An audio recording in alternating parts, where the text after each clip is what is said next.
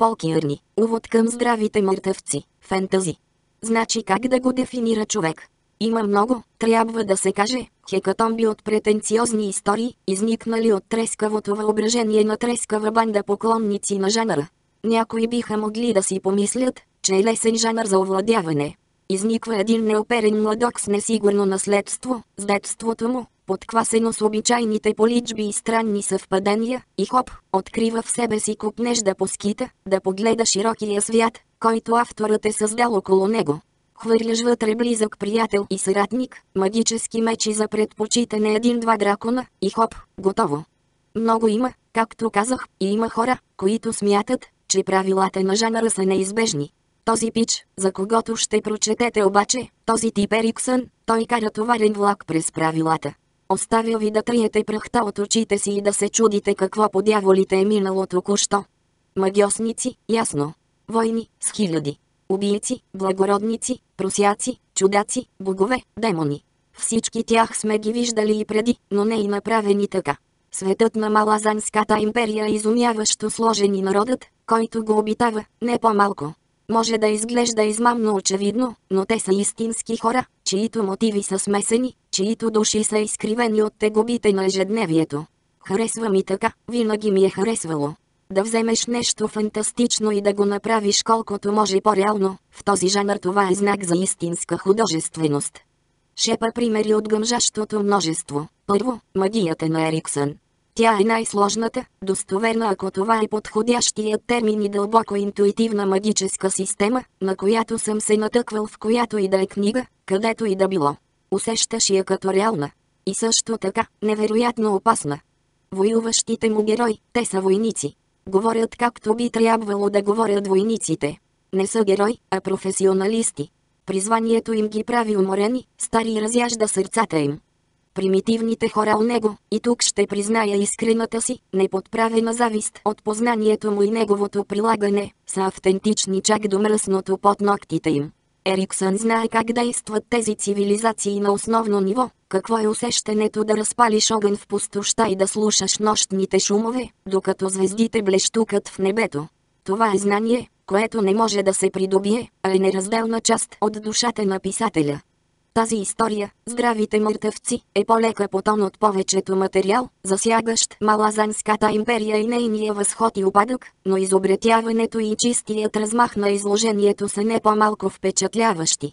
Това е приказка, която моли да бъде четена на глас сред тълпа единомишленици в осветена от огън кръчма, за предпочитане с облаци дим от лули, виещи се във въздуха и несъмнено с няколко кандидат-рицари на щастието, които наблюдават неодобрително. Богатството на идеи е зашеметяващо, но те излизат на сцената по толкова скромен и мил начин, че е лесно да бъдат подминати и гениалността и чистата оригиналност на сътворяването им да се приеме за нещо подразбиращо се от само себе си.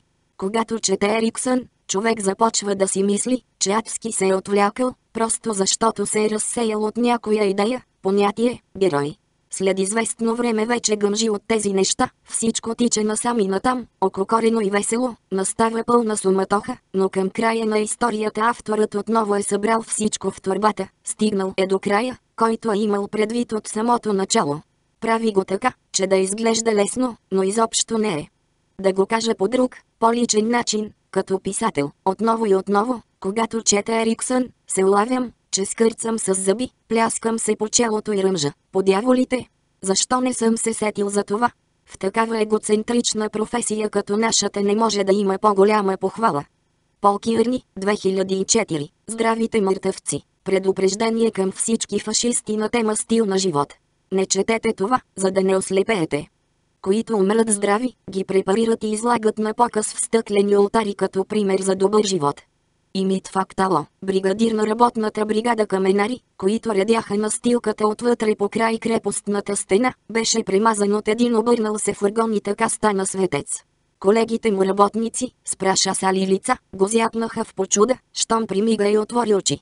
Небето зад тези досадни образи наистина му заприлича на великолепното обиталище на господарката на благонравието, богинята на добротата, в чиято нежна прегръдка и мит фактало се почувства на ръба на пропадането. Стига, разбира се, човек да можеше да пропадне нагоре, да се издигне от тежката греховна земя и да се гмурне с пронизителен радостен вик в необятната си нева горе. Но бляскавото възнесение така и не дойде.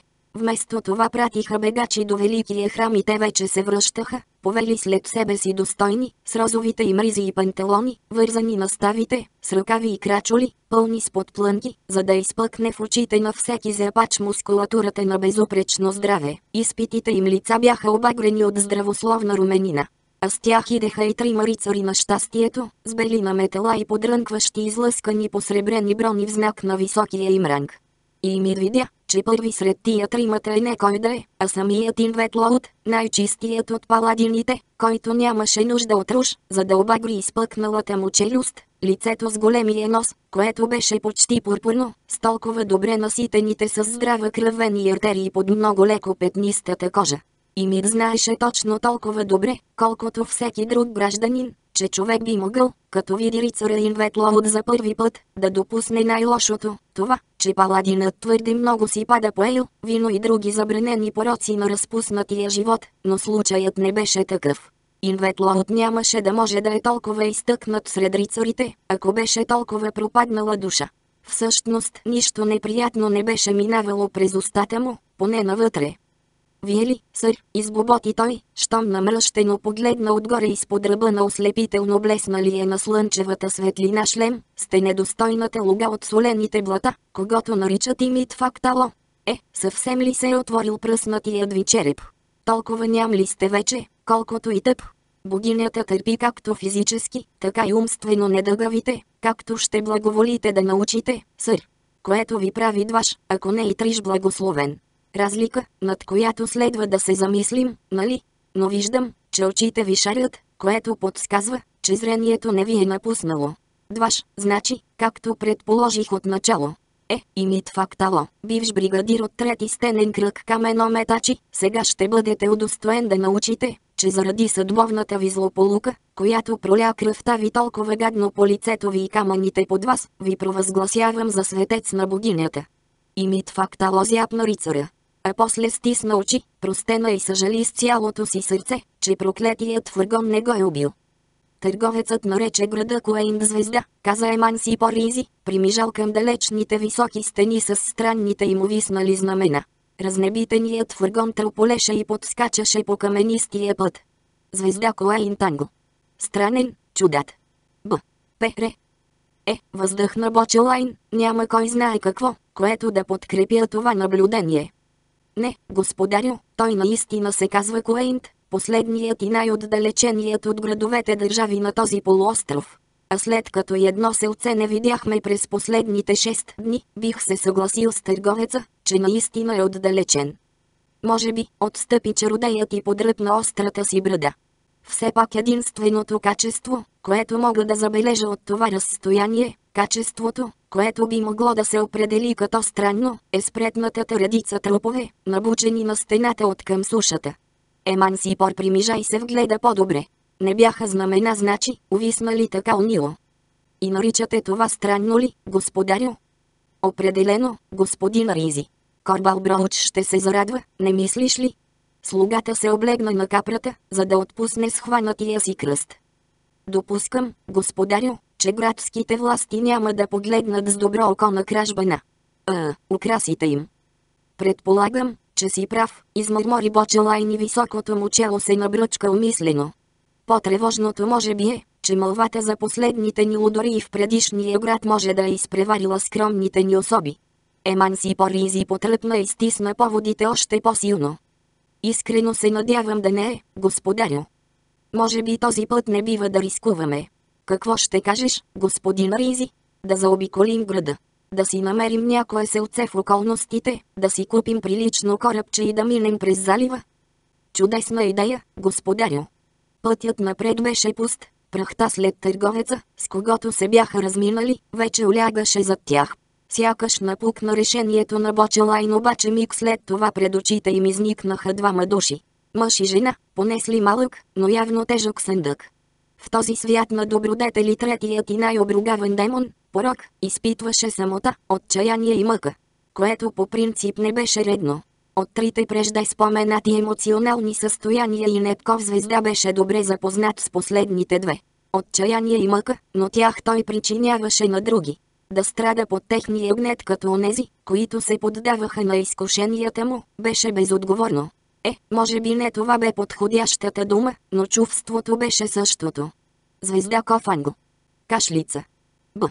Пере. Едва ли можеше да се каже повече за контешкото облекло на танцор, което носеше в момента, облекло, явно принадлежало на много по-високи широкоплещест индивид. Тъжна истина беше, замисли се той, докато ровеше в буклука на една уличка зад двореца на земните наслади в търсене на нещо, каквото и да е. Тъжна истина, че изкуствата на плътта неизбежно, рано или късно, капитулират пред телесната немощ. Че талантът и мъжката сила отстъпват пред немощни мускули и трошливи кости. На света нямаше място за състарени артисти и този жесток факт едва ли можеше да е по-очевиден от начина, по който демонът откри мъртвия танцор. Сбръчканото му лице, зяпнало невиждащо към небето, изражението, издаващо смътна изненада, може би дори негодование, с което прогласяваше окончателното разбиране, че както е бил остарял и прегърбен, не е могъл да изпълни точно онова движение. Че силният пукот, който несъмнено бе придружил онова последно завъртане и пирует, несъмнено е бил лошо нещо. Демонът се съмняваше, че е имало публика. Още един тъжен факт, свързан с престарелите артисти, никой не ги гледа, никой не се интересува. Завъртане, пирует, изпукване, просване върху мръсния кълдъръм и лежиш там, несмущаван от никой друг, освен от дребните ядачи на плът, които обитават живото тяло и едва сега излизат навън да ядат. Порог винаги беше последното убежище за артисти. Когато не останеше нищо друго, винаги го имаше пиенето. Съмнителните апетити на плътта прекомерните глезоти, поднасяни на отрупани плата. Множеството възхитителни предсмъртни желания, които да се опитат сред безбройните вещества, които се предлагаха. Или ги бяха предлагали. В доброто старо време. Ала сега в Куейн властваха добродетелите, праведни и върховни. И хората танцуваха по улиците. Е, някои просто се опитваха, само за да умрат в опита. Светист финален жест. Много такива имаше в днешно време. Да живееш чисто, да живееш с безупречна жизненост. Да умреш бавно. Да умреш внезапно. Но винаги да умреш, уви. Демонът, който като нищо можеше да искал да умре, не можеше. Продължаваше да съществува под облика на скрити желания и така ставаше свидетел на неизменните реалности за тези тъжни смъртни. Снишаваха се и се мъчеха да избегнат неизбежното пробуждане на онези малки ядачи на плът. В края. В края беше краят и само краят горките човечета. Колко удоволствия, замисли се мрачно и неп, са наистина чисти. Колко хора подминават неуязвимо множеството засади, които физическият свят устройва на пътя им. Това беше друг вид танц, с отчаяно пляскане на криле по петите, и стилът бе изключително непривлекателен. Рязък, пестелив, отбранителен и конвулсивен до крайност. За демона беше потискащо да го гледа. В края на краищата кое не убива, Ровещите му ръце напипаха нещо в сметта зад двореца на земните наслади и той го извади. Голяма бутилка от печена глина, спукнато дъно изчупено гърло, но иначе. Съвършена. Демонът я измъкна и я огледа. Да, някога в нея бе имало алкохол.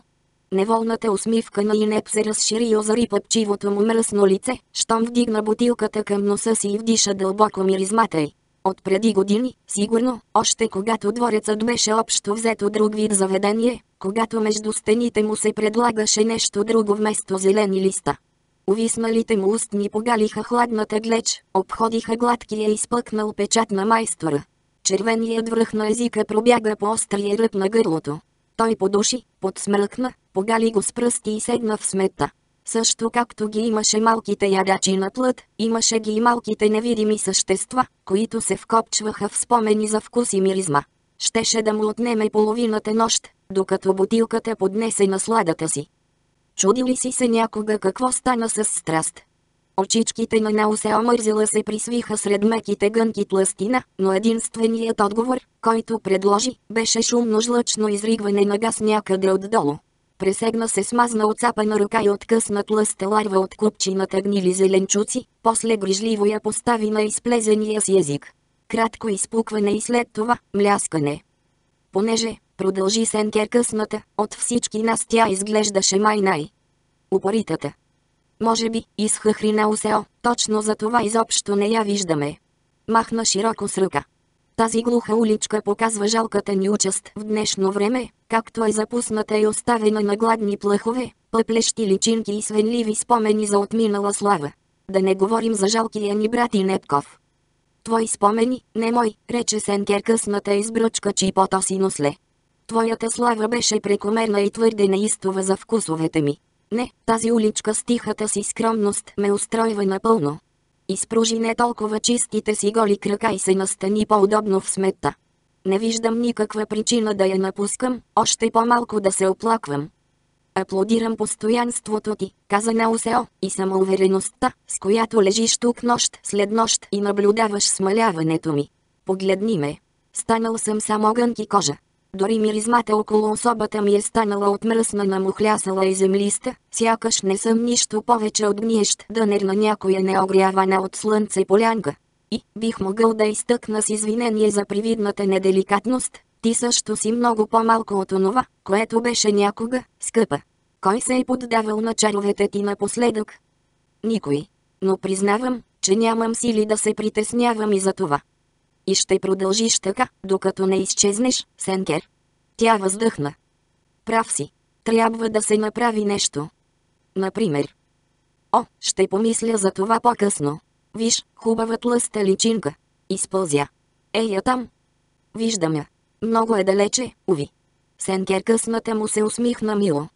Е, аз ще я хапна, благодаря ти. Съндъкът беше пълен с монети. Злато като слънчев зале си избеляло като пикня сребро, отровен блясък за изнорените очи на Еманси Поризи. Нищо добро не идваше от богатствата, нищичко. Ние сме светци на славния труд, каза мъжът, и мит фактало. Изглежда достойна титла, отбеляза Бочелайн. Стоеше пред двамата граждани на Куейнт, стиснал ръце зад гърба си. Емансипор беше наклал малък огън край пътя и сега приготвяше греяно вино против усилващия се студ. Скромните ежедневни шетни сякаш винаги водеха до нечувани, огромни злини. Винаги беше така, поне според него. Особено в компанията на господарите му. И сега усещаше, че се започва нещо наистина гадно. Достойна титла, казвате, отвърна имит. Изглеждаше така, все едно току-що е глътнал шепа пепел. Така ли си мислите? Естествено, отвърна Бочелайн и повдигна очудено вежди. Току-що го казах. Ами, отчаиващо е, да ви кажа аз, рече и ми лявата му буза потрепна. Без работа съм. Сега прекарвам по цял ден в молитви с хиляда други светци. Светци? Единственото общо, което има между нас, е несръчна глупост или лош късмет, или и двете. Прекалено суров сте към себе си, каза Бочелайн. Да спечелите такава благородна титла и... Човек трябва почти да умре, докато работи, прекъсна го жената с груб глас. Грешки, злополуки, сляпа случайност, това прави светците в Куейнт. Бочелайн се беше намръщил при прекъсването и сега се намръщи още повече и придърпа общитото си с куприна на метало по-плътно около себе си. Ако ви разбирам добре, обявяването в святост зависи от рани, понесени в служба на обществото. Много точно го казахте, отвърна и Мит Фактало. Да ви обясня за Куейнт. Всичко започна с внезапната смърт на предишния крал, Некротус Нихили. Обичайният тип владетел. Дребнав, зъл и покварен. Харесвахме си го много. Но после той взе, че умря, и трона пое малко известният му брат. И точно тогава всичко започна да се скапва. Жената продължи. Крал Макротус, изумително милия. Нищо мило няма в тази титла. А вие сте. Света е Ласил, сър. Една от работничките се спъна в мен с кука за плетене. Прободи ме в шията идиотката му с идиотка. Оцапах с кръв всичката вълна, а се оказва, че дълг не се прощава дори да си светец. Само че как да го изплатя? Не ми е разрешено да работя. Нововъведен закон от вашия крал значи. Еман си поразбърка греяното вино. Миризмата го замая по някакъв приятен, приспивен начин и той се отпусна на земята и започна да тъпче глинената си лула с ръждивец и дъранг. Действията му привлякоха вниманието на двамата светци и Еман си видя как Елас облиза устни. Такава е волята на добруването, рече и Мит Фактало на Бочелайн. Макротос издигна култа към богинята на благонравието. Сега това е официалната и единствена законна религия на града. Емансипор присви очи, щом срещна погледа на жената. Щеше да е привлекателна, ако беше родена като някоя друга, прецени той. Но Еласил, светицата с прободената шия, можеше да е била или не жертва на злополука. Слугата поднесе горящ въглен към лулата си. Спомни си смътно, че една стара вещица в родния му град печалния мол беше живяла с същите представи за добруване. Може би тенденцията се разпространяваше като някакъв ужасен мор. И Митфактала продължи. Новите забрани запълват цели томове. Списъкът на това, което убива расте ежедневно и лекарите трескаво търсят още и още. А всичко, което убива, е забранено, обясни Еласил. Кралят иска народът му да е здрав, а тъй като повечето хора не искат да правят каквото е необходимо за тях самите, Макротос го прави заради тях. Ако искаш благословиите на богинята в отвъдния живот, трябва да умреш здрав, продължи Имит. Умреш ли нездрав, няма погребение, каза Елас.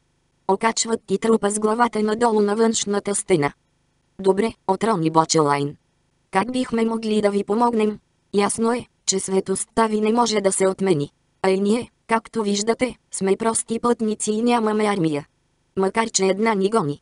Но Еман си порзата и тази добавка за себе си. И Митфактала и Еласил се спогледаха, след което мъжът наведе глава. Не е търговският сезон, но мълвата се носи, тъй или иначе. Рибарски лодки и прочие. Потупа с пръст смачкания си нос. Имам приятел с добро зрение по този път, почна от върха на хълма хърба, тъй че веста дойде няколко пъти.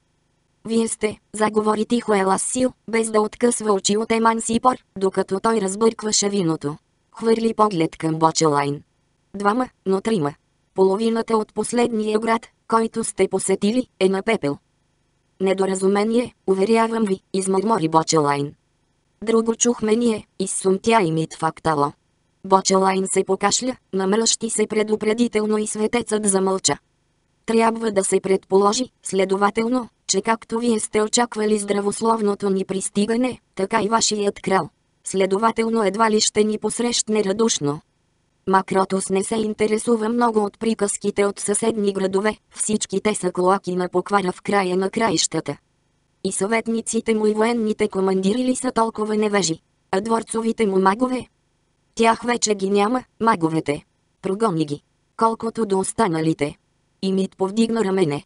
Макротос би погледнал с неприязен на такъв интерес, след като намеква за противни желания или за опасно любопитство, най-малкото. Виното е готово, обади се Емансипор. Двамата светци извърнаха жадни погледи към него и Елас сил прошепна. Забранени са ни такива. Пороци. Слугата повдигна вежди. Абсолютно въздържание. Не слушахте ли? Изръмжа Имит. Всичко е незаконно в Куейнт. Никакъв алкохол, никакъв ръждивец, нито деранг, нито приспивателни прахчета. Нито за светци, нито за никого. А Елас Сил добави. Никакво месо също, само зеленчуци, плодове и риба с три. Клането е жестоко и освен това червеното месо е нездравословно. Никакви курви, никакъв комар, добави Имит. Всички тия удоволствия са престъпни. В отговор Еман си сумтя, изчука лулата си в тока на бутуша си и се изхрачи в огъня. Любопитно, каза Бочелайн. Какво бихте искали да направим за вас? Узурпирайте трона. В смисъл да свалим краля. Именно. Да го свалим, в смисъл да го премахнем. Да. Да го премахнем, в смисъл да го убием. Светците отново се спогледаха, но не казаха нищо.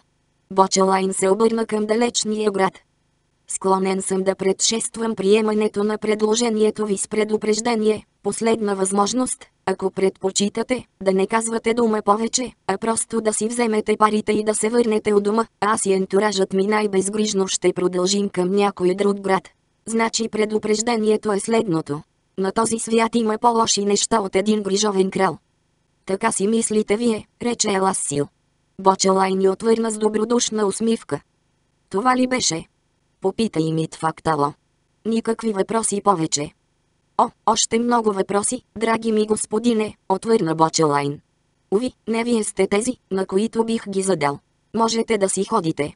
Рицарят на щастието Инветлоуд застана над кошчето с плачещото бебе и погледна ядосано няколкото жени, които си говореха край кладенеца.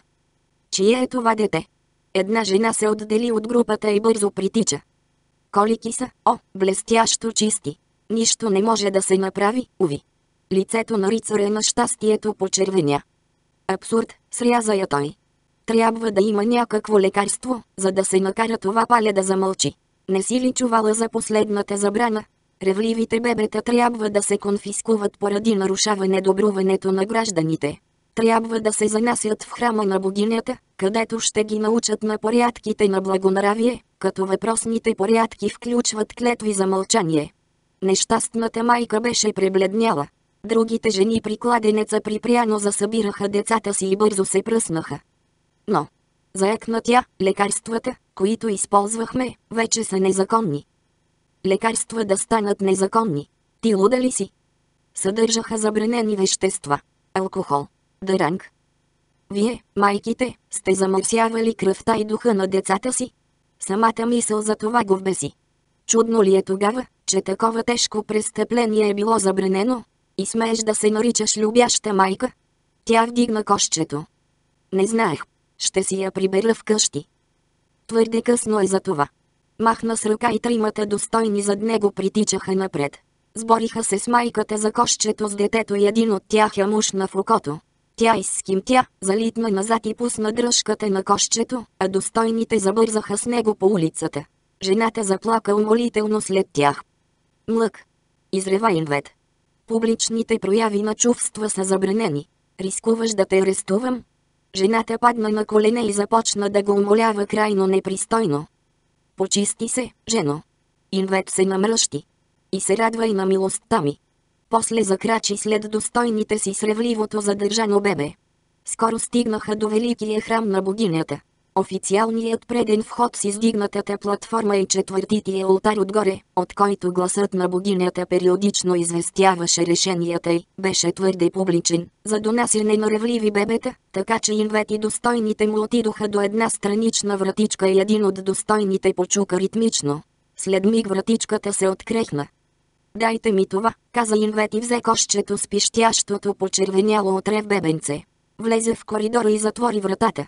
Жрицата срещу него, загърната в халат и вуали, но недостатъчно, за да прикрият прекомерната и пълнота, зяпна бебето с жадни очи и прошепна. Великолепно!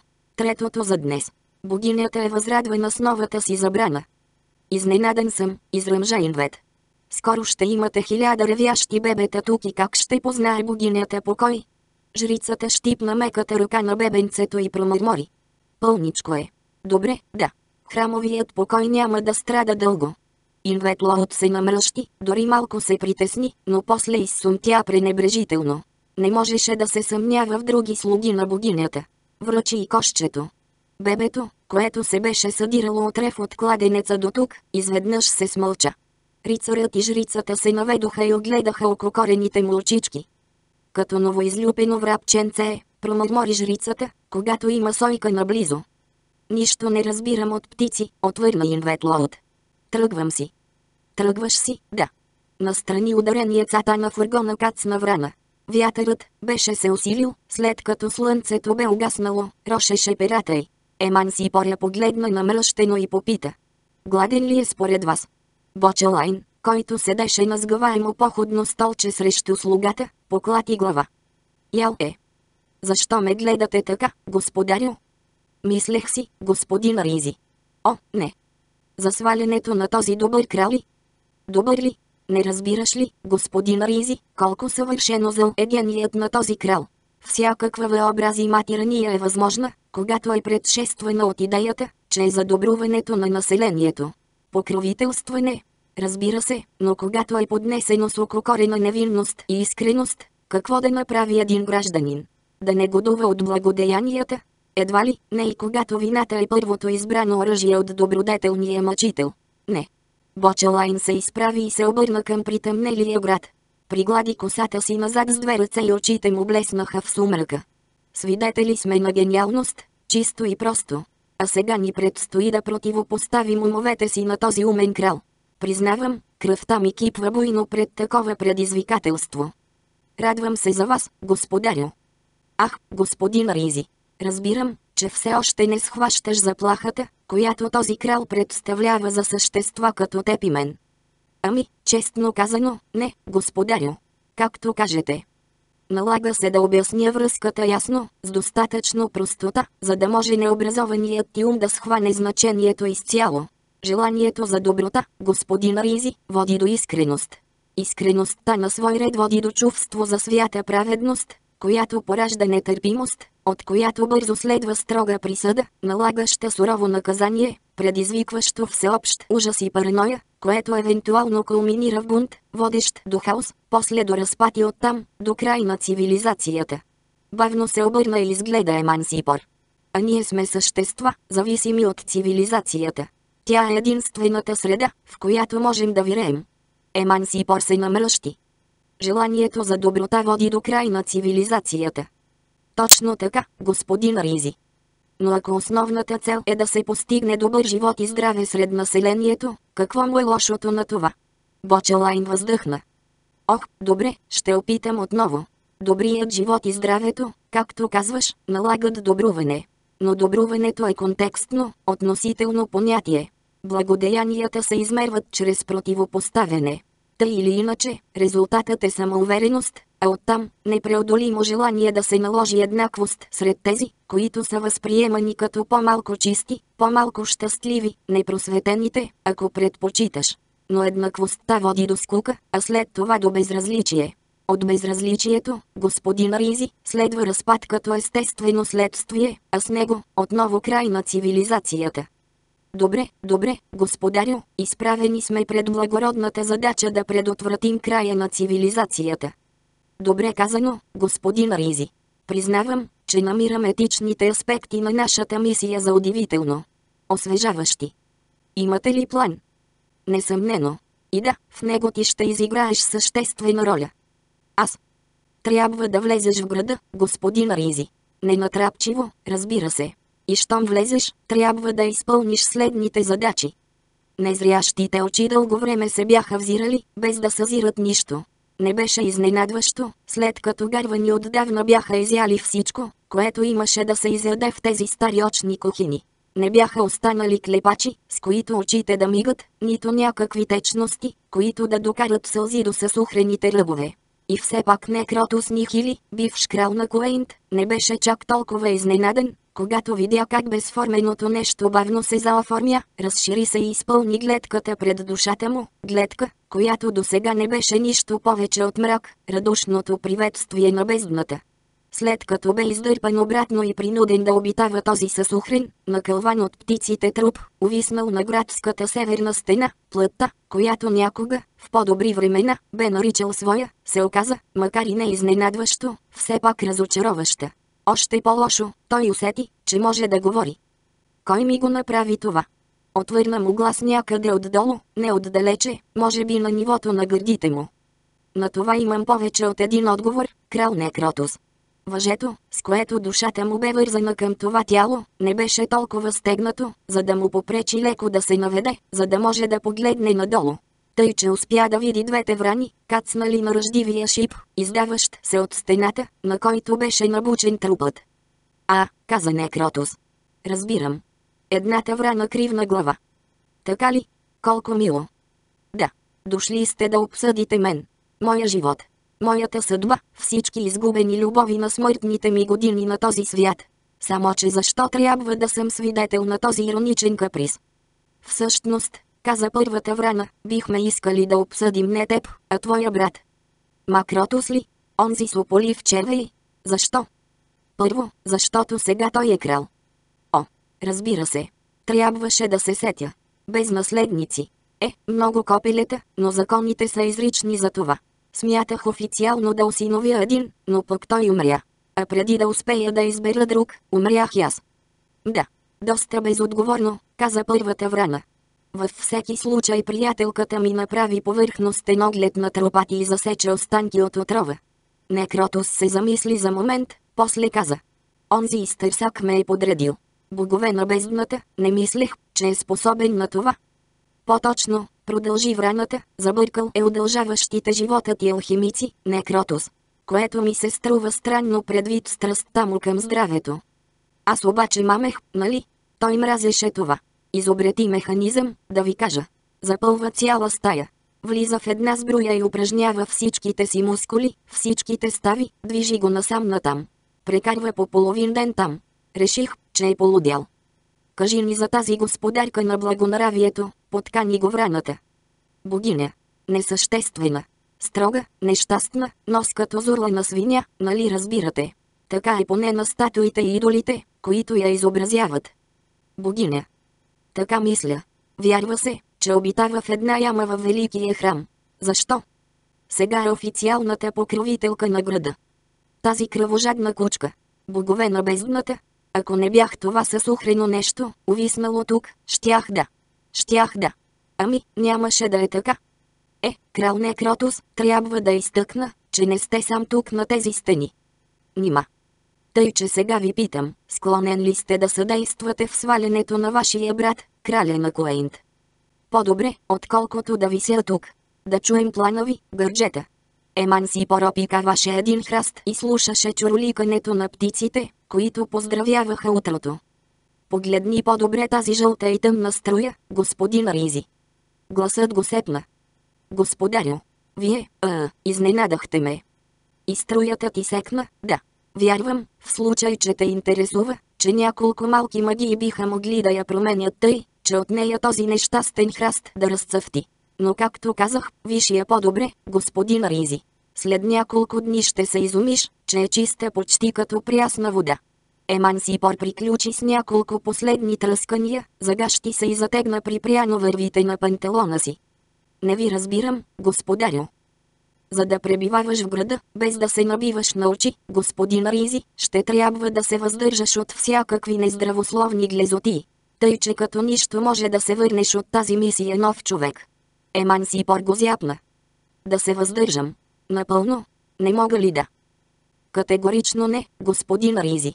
Сега смъкни съответните неподходящи неща от себе си. Тълпата търговци долу на пътя достига идеална гъстота. Не искам да ходя там. О, но ти си на работа при мен, нали? Договорът ни предвижда. Да, да. Разбира се, господарю.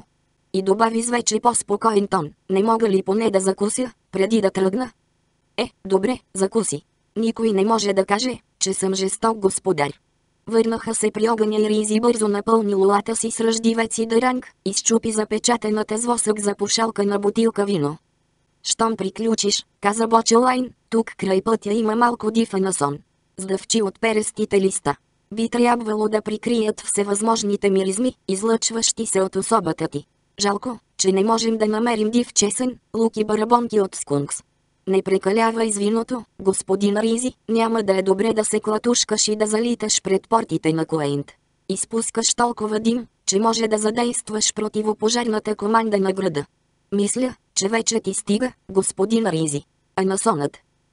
Копаре, господарю. Нима. Е, все едно.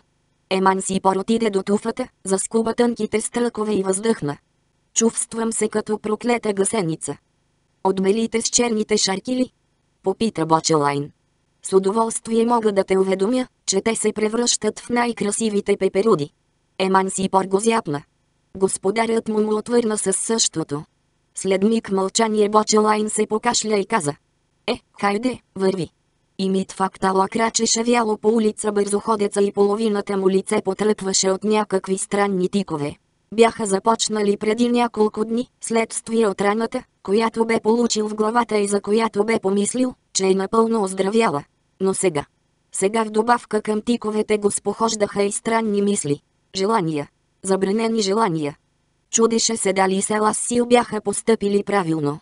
Но вече беше твърде късно. Онзи магиосник, Бочелайн, беше плашещ. По особен, свръхестествен начин. Сякаш топла мисъл никога не беше влизала в смъртната му душа и всичко, което се тееше вътре, беше тъмно и студено. А историите, които беше чул, разправяха, че имало втори магиосник, склонен да се крие, и с крайно користни апетити. Тъй че. Зло. Понятие, за което и Митрятко се беше замислил, но което сега го глождеше. У стария некротус Нихили не беше имало нищо особено добро. Обичайният набор на здравословни капризи, присъщи за хората с абсолютна власт. Двайсетина потиснически закона, предназначени, както обясняваше Еласил, да обогатяват краля, та да може да се отдава на разгул за сметка на простолюдието. Но ако си плащаше десятъците и не убиваше или крадеше някоя важна особа, човек можеше да си изкара живота, без нито веднъж да си навлече беля. И, разбира се, системната поквара течеше надолу много лесно, отровата на цинизма заразяваше и най-низшия страж толкова, колкото и краля. Подкупът решаваше повечето проблеми, а където не можеше, правеше го бързата и брутална жестокост. С други думи, животът беше прост, праволинеен и понятен. И може би зъл. С апатията, безразличието, с мълчаливото приемане на безчовечността. При жесток крал има жестоки благородници, оттам жестоки търговци и тъй нататък, до жестоките улични псета. И все пак и мит фактала купнееше онова време да се върне.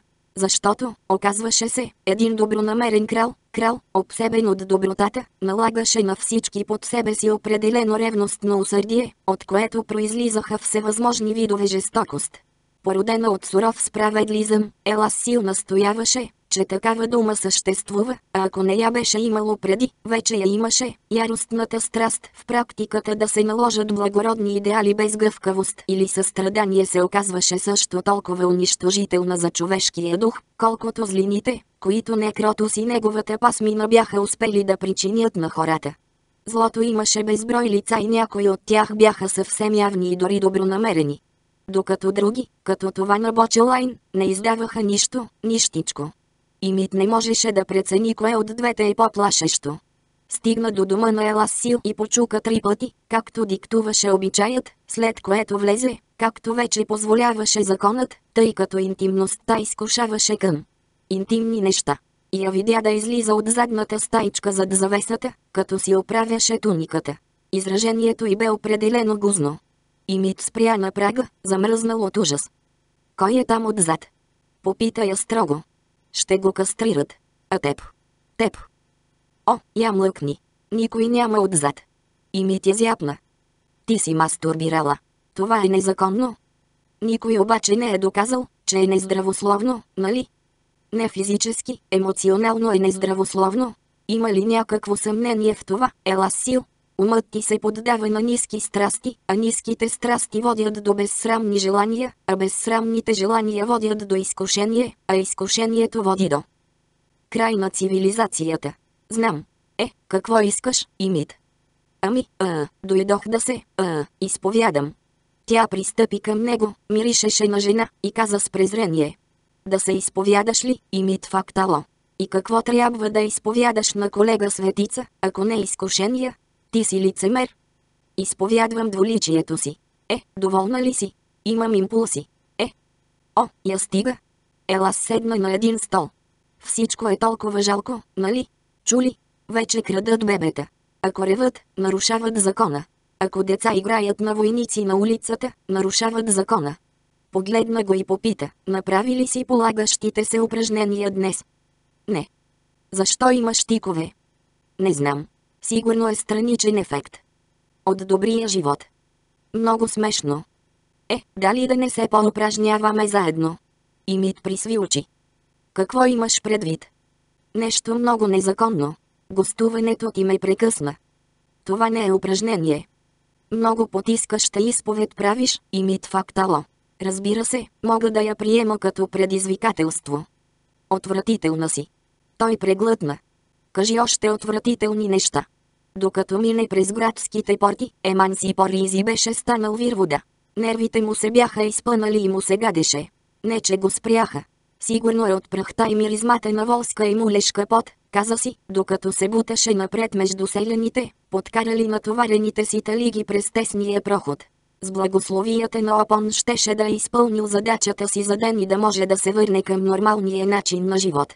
Или поне толкова нормален, колкото бе възможно на работа при двамата му зловещи господари.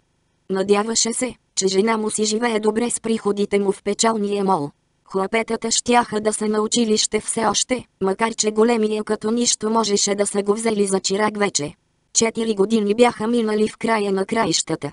Цял живот, Предвид това, което бе преживял след онзи съдбоносен пиянски ден, когато почука на вратата на Бочелайн в гостилницата при злочестия. Щеше да си е намерила и любовници вече, да.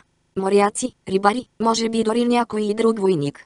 Не изпитваше кой знае какво негодование заради това. Самотен живот е това, майка без съпруг край нея. На 20 крачки от портата спря и застана в страни от нижещите се коли и мучащите животни. Огледа се замислено, мъчеше се да определи какво му е различното тук в сравнение с безбройните други градове, които бе виждал. Беше по-кротко, първо. Отдясно, в края на един тесен проход, имаше нещо като площад, на който стояха в редици граждани, махаха с ръце и подскачаха на място. Зачуди се дали също не са светци, спукнати черепи и вече съвсем побъркани. Мяркаха се няколко хлапета, но нито един просяк обаче. А пък улицата изглеждаше изненадващо чиста. Ако това се водеше добър живот, не беше толкова зле. Разбира се, нямаше да продължи дълго. Не и след като Бочелайн и Корбал Броуч замисляха краха му. Жегна го съжаление. Какво правиш тука? Еман Сипор се обърна. Извинете. Жената, застанала пред него, беше с бяла лъскава броня и с бяло на метало, обшито с златиста коприна. Лицето й бе като на мраморна статуя, изваяна от творец, обсебен от идеята за съвършенство, чак до бледата пудра по бузите и от двете страни на правилния леко вирнат нос. Червената лъскавина по устните й придаваше вид все едно току-що изпила шише кръв. Студените твърди сини очи се бяха впили в него с високомерно пренебрежение. Шляете се, гражданино. Всъщност се колебаех. Жената примига и се намръщи. Има ли разлика? Разбира се, отвърна Емансипор. Помисли дали да обясни разликата, но се отказа. Е, рече тя, колебанието също не го обичаме много. Тръгвам си по пътя тогава. Да, но, първо, къде отивате? Ако се съди по говора ви, сте някакъв чужденец, не го отричайте. Имаме притеснения с чужденците. Имат бунтовни идеи. Трябва да науча всичко за вас, като започнем с причината да дойдете в Куейнт. Хайде, говорете. Тирадата й беше привлякла зърпачи и всички те гледаха Емансипор с неприкрито подозрение и чакаха отговора му. Капки пот избиха по сбръчканото му чело. Бочелайн трябваше да отговаря на тези проклети въпроси. Или още по-забавно, Корбал Броуч, с безизразните му черни като маниста очи и с кротката му вяла усмивка. Осени го вдъхновение и той се облещи на строгата жена. Коя си ти? Главата ме боли. Къде сме? Тя се намръщи още повече. Аз задавам въпросите. Какво стана? Попита Емансипор. Събудих се край портата. Аз. Работех. Работех, да. С бригада. Почиствахме каналния ров. Имаше един голям камък, казаха да го махне ми. Забутахме го. После. Болка. В главата ми. Кълна се в богинята, дори не знам кой съм. Тълпата ахна. После някой извика. Той е светец. Провъзгласен ли си отрицар на щастието? Попита жената. А, не знам. Не помня. Може би. Кой ден сме днес? Някой от тълпата отвърна. Денят на Свети Ебар, о, избрани. Седем месеца. Възкликна Емансипор. След това се изруга на ум. Беше прекалено много. Какво си мислеше? Седем месеца. Рицарът на щастието пристъпи към него. Седем месеца. Ами. Така мисля, изламоти Емансипор. Коя година сме сега? Идиот. Влушаваше нещата още повече. Втората година от царуването на Макротус. Макротус. Възкликна слугата. Бъбри в глупак такъв, спри. Ново вдъхновение и Еман си завъртя очи и се свлече върху камъните. Тълпата се развика, приближиха се няколко души. Заговориха. Значи е той, а? Най-първият светец на славния труд. Каза седем години, нали? Сигурен съм. Седем? После рицарят на щастието изръмжа. Митът за първия светец. В смисъл, толкова съм търсила и така и не го намерих. Освен това този е чужденец. Първият светец не може да е чужденец. Но, блажен рицар на щастието, настоя някой, всичко, което каза той, съвпада. Първият светец, предвестникът на всичко, което дойде. Кралските пророчества. Знам кралските пророчества, граждани. Сопна се жената. Внимавайте да не реша, че спорите шумно на обществено място. Някъде от по-далече прогърмя глас. Какво става тук? Жената отвърна с известно облегчение. А, Инветлоуд, ако благоволите, помогнете в решаването на тази ситуация. Мъжкият глас се приближи. Ситуация ли? Ситуациите са нежелани, стар колопърч. Дори редови рицар като вас трябва да знае това. Старая се да разпространявам съгласие навсякъде, о, най-чисти от паладините. И би трябвало, за да не се окажат действията ви изключителни или, да не дава господарката, уникални.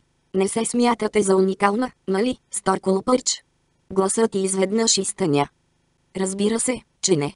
Чистотата на вродената ми посредственост е абсолютна, най-чисти. Мога да ви уверя в това. Какво става тук? Кой е този изпаднал в безсъзнание човек? Настойчивият гражданин побърза да отговори. Първият светец, най-чисти паладин на добротата. Човек без памет за последните седем години. Тогава защо е в безсъзнание? Неиздържано разпита на рицаря на щастието. И пак припадна. Благословена да е господарката, че пристигнахте. Никакъв отговор или отрицание не последва от страна на Старколопърчи лежащият в краката и Емансипор за миг изпита съчувствие. Това бързо отмина. Нека да се пържи, реши той, отвори очи, което бе забелязано моментално, и ги впи в жената рицар. Последва нов стон и ново престорено изпадане в забрава. Пак. Ах на гражданинът. Пак припадна, що ме видя, Вървете си, стар колопърч, заповяда Инветлоуд, и чакайте рицарската присъда в дневния храм на добротата. Отвърнаха му с приглушено. Слушам, най-чист паладин. Еман си порчу как бутушите и заскърцаха и се отдалечиха. Събудете се, първи светец, каза Инветлоуд. Беше идеално. Очите на Еман си пори спърхаха озадачено и се впиха в грубото, изсечено като от камък лице на рицаря в броня, застанал над него. Аз, Никога не съм ви виждал, промълви слугата, но познавам душевната ви чистота. Вие трябва да сте паладинът. Трябва да сте инветлоуд. Твърдите сини очи на мъжа блеснаха от задоволство. Прав сте, първи светец. Има едно малко известно пророчество, че аз ще съм този, който ще ви намери и ще ви отведе при краля. Достатъчно добре ли сте, за да станете? Емансипор се изправи с усилие и залитна. Здрава ръка в метална ръкавица му помогна. Елате, първи светец на най-славния труд. Коленете на слугата се подкосиха и паладинът побърза да го задържи. Какво има, приятелю? Попита с тревога Инветлоуд. Без да обръща внимание на тълпата, която ги бе обкръжила, Емансипор отново се изправи и погледна паладина. Ви. Видение, о, най-чисти. Ужасно видение. Ужасно звучи, наистина. Какво видяхте? Емансипор леко вдигна глава. Трябваше да измисли нещо, и то бързо. Само за вашите уши и за ушите на краля е, за никой друг. Дори и за великата жрица на богинята. О, да, за нея също. Тогава да тръгваме. Ето, подпрете се на ръката ми. Рицарят на щастието Старколо Пърч се подпря на задната стена на дневния храм. Гледаше право пред себе си, но не виждаше нищо. Заливаха я вълни от страх. Беше обречена. Рицарските присъди никога не бяха в полза на съдения. Самата тя бе участвала достатъчно много пъти, за да знае, че това е неотменима истина, и добре помнеше тайното вътрешно наслаждение, когато добавеше гласа си към хора на обвинителите. Престъпленията против добротата бяха неоспоримо най-сериозните и тази сериозност ставаше все по-сериозна. Намръщи се на тази мисъл, след което поклати глава, изведнъж оплашена да не би да губи разсъдъка си но пък може би така щеше да е най-добре. Увита като пашкул в безумието си преди мига на присъдата. Проклетият Инветлоуд. Всеки рицар на щастието знаеше, че митът за първия светец е пълна измислица. Онзи чужденец не беше нищо повече от възползвал се от удобната възможност мошеник, достатъчно хитър, за да заложи на суеверието и в същото време да погаделичка самолюбието на Лоуд. Ако някой заслужаваше осъждане, това беше паладинът на чистотата, крачещ из града в заслепяващия облак на безупречната си праведност, облак толкова гъст, че да задави и най-здравите граждани. Имаше ли нещо, което да може да използва? Не беше ли се поставили инветлоут над всички останали? Не трябваше ли и той да е подвластен на скромността и здравословната посредственост? Смееше ли да му се опълчи? Ще ме изяде жива, прошепна тя. Кого заблуждавам? Той вече точи шипа за мен на стената. В името на богинята, трябва ми пиене. И след това възклицание затвори уста толкова рязко, че забите и изтракаха. Огледа се бързо и с облегчение видя, че наблизо няма никого. А после нечи тих хриплив глас прошепна. Спомена ли някой за пиене? Старкол пърч рязко извърна глава. Гласът сякаш бе дошъл някъде точно до нея, но нямаше никого. Кой си ти? Къде си? Надуших много сладка следа. Рицарят на щастието погледна надолу и видя малка пищно облечена фигура, лежеше до десния и бутуш. Не ме ли познаваш, Старкол Пърч? Вярно, тези дрехи не ми стоят добре. Бяха на танцор, въртели са се вихрено в обреден танц. Глупак, изръмжа Старкол. Тези дрехи са били на марионетка. Ето, виждат се и конците. Кукла ли? Отвърна стънък гласец съществото. О, ужас! Ти си порок. И Непков. Защо не си мъртъв вече? О, ти не разбираш. Единственото, което можах, беше да допълзя до теб. Съблазента на желанието ти. Чух го. Сбъркал си. Ах, лъжа. Добре, лъжите са хубаво нещо. Нали започвам от тях? Тихо. Ще ни чуят. Все по-добре и по-добре. Да, ще си шепнем двамата. Пиене, нали? Спирт, нали? Хванал съм следа, която води навън през портата към сушата. Следа, ухаеща на всевъзможни глезоти, казвам ти. Алкохол, ръждивец, дъранг. Вътрешната порта. Ами аз току-що бях там. Някой е влязъл в града, скъпа. Някой. Чужденец. Да, чужденец. Знаеше го. Трябва да проследим дирята му назад, двамата с теб, Старкол Пърч. Трябва. Тя се замисли. В ума и се завихриха образи. Драматични обвинения, сцени на триумф и нападението на чужденеца и на Инветлоуд. Но нямаше да е добре да действа прекалено бързо. Не, двамата трябваше да са свързани много по-сложно един с друг, всеки, защитник на другия в голямата им измама. Да, вече можеше да го разбере. Скоро в Куейнт щеше да има нов защитник на чистотата. Но първо... Добре, и Непков. Ще го проследим. Великолепно. Вдигни ме тогава, жестоко сърдечна моя. През вътрешната порта и навън, на открития път. Тихо. Много високо говориш. Наведе се и вдигна хилавото същество, в което се беше стопил някогашният и Непков. Не говори, прошепна му. Докато не сме в безопасност. Когато приближи портата, един от стражите пристъпи на пътя и впи очи в нея. Добри рицарю, какво носиш? Едно ужасно дете, отвърна тя. Заразено е. Мъжът се дръпна. Заразено ли? Децата не са невинни, а само неопитни. Често срещано заблуждение. Това тук е шумно, пъкостливо, агресивно и мисли само за себе си. Изключително дете значи. Както би ти казала всяка майка, току-що описах всяко дете на този свят, тъпо мулешко говно такова. Всъщност толкова е изключително, че нямаме никакъв избор освен да го махнем от града. И какво смятате да направите с него? Попита стражът. Да го оставя на вълците.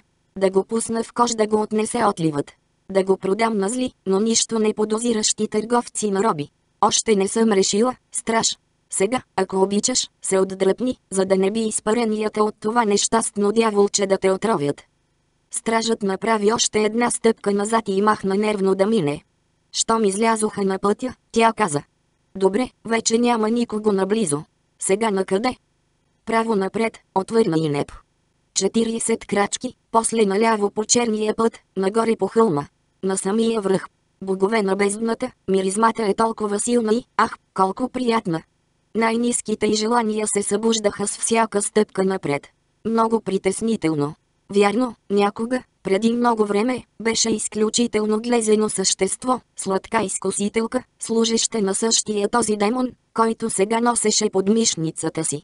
Като мед в капан за оси, като космата мишка в змийско гнездо, като курва на прага на храма. И беше хубав, макар и отровен живот. Призна си, че и липсват онези дни, или нощи по-скоро. И все пак, ако чужденецът и Инветлоут не крояха скорошната егибел, знаеше, че щеше да продължи с новия си неопетнен живот като рицар на щастието, чиста в помислите си. Е, добре, повечето пъти и в благочестивите ограничения на здравословния живот.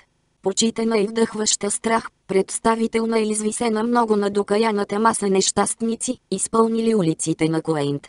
Нещастници, които не заслужаваха нищо друго освен презрението й. А имаше една малко известна истина. Здравословните порядки трябваше вече забележително да са повишили продължителността на живота, но самият стрес от усилието убиваше хората като мухи. Явно средният гражданин не беше достоен за задачата да живее добре. Имреше от упражнения и прекаляване с зеленчуци. Хирурзите докладваха, че най-честото оплакване напоследък било запек. Ха! Промълви тя задъхано, докато се катереше по черния коларски път. Това, което му трябва на града, е едно хубаво изсиране, да. За начало, отвърна и Нетков. Да, наистина, едно добро изчистване на системата. Експлозивно изхвърляне на... Млъкни, изръмжа му Сторкол. Говорех на себе си. Не ми прозвуча така, изсумтя демонът. Е, така беше. Просто така ми се стори. Сбъркал си. Съществото се завъртя под мишницата и мършавите крайници се сгърчиха. Добре, добре, съжалявам. Това си го биваше, каза трети глас. Дойде някъде от върха, три крачки напред. Старкол спря и вдигна очи към мъжа там. Какво? Какво си го биваше? Вие сте вантрилак, нали? Говорите с корема си. Възхитителна професия, винаги съм си го мислил. Изпълнена с таинствена магия и душевна странност. Не е вантрилак, изръмжа и Непков, който продължаваше да рита и маха с ръце. Сивобрадият изящно облечен мъж почти се усмихна. Моля ви, а, двамата, аз съм изключително възприемчива публика и ще останете доволни от благодарността, с която ще ви се отплатя за представлението. Аз съм рицар на щастието Старкол Пърч, а не фокусник с гласове. Кой сте вие и какво правите тук? Бивак ли е това на билото зад вас? Отговорете на въпросите ми, подяволите, в името на богинята на благонравието. Отговори. Добави с злобно хриптене демонът. Мъжът плесна с дълго пръстите си длани. О, много добре, наистина. Рицар и демон изреваха възмутено. Великолепно. Старкол Пърч захвърли демона на земята и закрачи към непознатия. И Непков запляска в прахта зад нея и извръщя. Надушва мръждивец. Чужденецът отстъпи крачка назад и тънките му вежди се вдигнаха. Изключителна драма. И най-висше чародейство, след като не виждам конците. Млъкни, жалко псе. Старкол се обърна към фургона наблизо и двата костенобели вола, които се поклащаха тъпо, какъвто навик имат воловете, макар че когато добичетата извърнаха глави към нея, потръпна, като видя черните им като оникс очи. Наблизо имаше останки от огън, а до кръга от камъни на земята се търкаляха две празни бутилки от вино. Алкохол. Както подозирах, нахвърли се върху чужденеца. Незнанието на забраните не е приемлива защита. Би трябвало да ви арестувам и да. Момент, прекъсна я мъжът, вдигна пръст и го опря на брадата си. След като незнанието на забраните може да не е приемлива защита, какво да кажем за незнанието на това, което представлява приемлива защита? Какво? Какво да кажем за вашето незнание за подходящото обвинение, което трябва да се предяви срещу мен? Запита чужденецът и пръстът му затупа в ритъм по брадичката му. Имате ли приемлива защита по отношение на това? Знам кои са подходящите обвинения. Тогава защо сте толкова неясна за тях? Не съм неясна. Ах, каза той с лека усмивка и лениво завъртя пръст. Млъкнете и двамата. Вресна демонът, след като допълзя до билото. Старкол Пърч, забрави ли желанията си? Забрави ли какво ни доведе тук? Тя се обърна рязко и изгледа и Нетков, като едва сдържа импулса да го стъпче. Овладя се и отново се обърна към чужденеца. Демонът е прав. Не съм тук в качеството си на рицар на щастието. Рицар на щастието. Разбирам, рече чужденецът и кимна замислено. След това кроткият му поглед се плъзна към Инетков. Истински демон, макар и доста смелен. Доста подходящ за орнаментални функции, между другото. Ако си имах мантия. Уви, такива са превратностите на пътуването. Мантия. Изсъска възмутен демонът. Аз бях гигант някога. Тиранът на хедонизма. Така ме наричаха. Демонът на порока, проклет фокуснико, нямаше равен. Всички ми се кланяха, дебелина, мързел, дори страст. В Куейнт ли си се показвал? Попита мъжът. Колко необичайно. Виновникът за тази твоя показна екстравагантност. Бих се радвал да се запозная с тази жена. Старкол пърч кривна глава. Жена ли? Откъде знаете, че е жена? Мъжът я изгледа за миг и се обърна.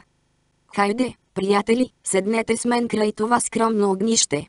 Тук, в багажа на слугата ми, ще намерим съвсем нескромен запас от забранени вещества, убеден съм. Махна към купчината пепел, блесна магия и. Близкият храст лумна в пламъци. Мъжът се сепна. Моите най-смирени извинения. Беше неволно, уверявам ви. Махна отново, в огнището се появиха дърва и запръщяха, преди да се разгорят. Храстът междувременно продължаваше да гори и бълваше нагоре езици пламък с странни цветове. Сторкол Пърч го изгледа накриво и пристъпи към огъня. И Нетков запълзя зад нея с тихо пъшкане и задъхан, като че ли се беше запътил към бутилките вино. Не мислете, че съм дошла тук с намерение да се отдам на нездравословни навици. Нездравословни, казвате, рече мъжът и широкото му чело се намръщи, докато ровеше в турбата от мачка на кожа. Въпрос на мнение, определено. Аз лично предпочитам най-вече вино. Смятам го за здравословно и, в умерено количество, за тонизиращо. Тъй, че, нищо вредно. Умъртвява мозъка, отвърна тя строго. Уврежда го дълбоко и с нарастващ ефект. Още по-вредното е, че атакува кръвта и разхлабва естествената дисциплина. Естествена дисциплина ли? Богове на бездната, каква странна представа. Нищо странно няма в нея, настоя тя. Това е механизмът, прилаган от инстинктивното желание за здраве. За разлика от добруване. Здраве и добруване не са в опозиция. Доста категорично твърдение, госпожице Пърч. О, извинете, бях неучтив.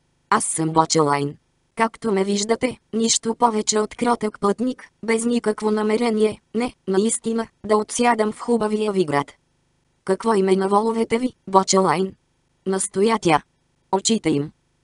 Рядка порода. И Нетков допълзя до първата бутилка вино, изпънал глава и изплези език към гърлото. Нях. Хе, не, не. Нях. Езикът му заблиза тъмното стъкло като език на котка. А, ето, каза Бочелайн, щом извади няколко неща от турбата. Ръждивец. Дъранг, под форма на сухо листо и на меко топче. Бял нектар. Къде, в името на гуглата, го е намерил това, чудя се. Опил мутор. Хеме, набор лекарства, всички свързани с ступора, прилаган за успокоение на силно изпънати нерви. Не знаех, че флегматичният ми слуга страда от подобни неразположения. А, ето и малко вино. И прасковен ликьор, и крушов ликьор, а тук и малко китова сперма. Кралице на сънищата, какво ли прави пък с това?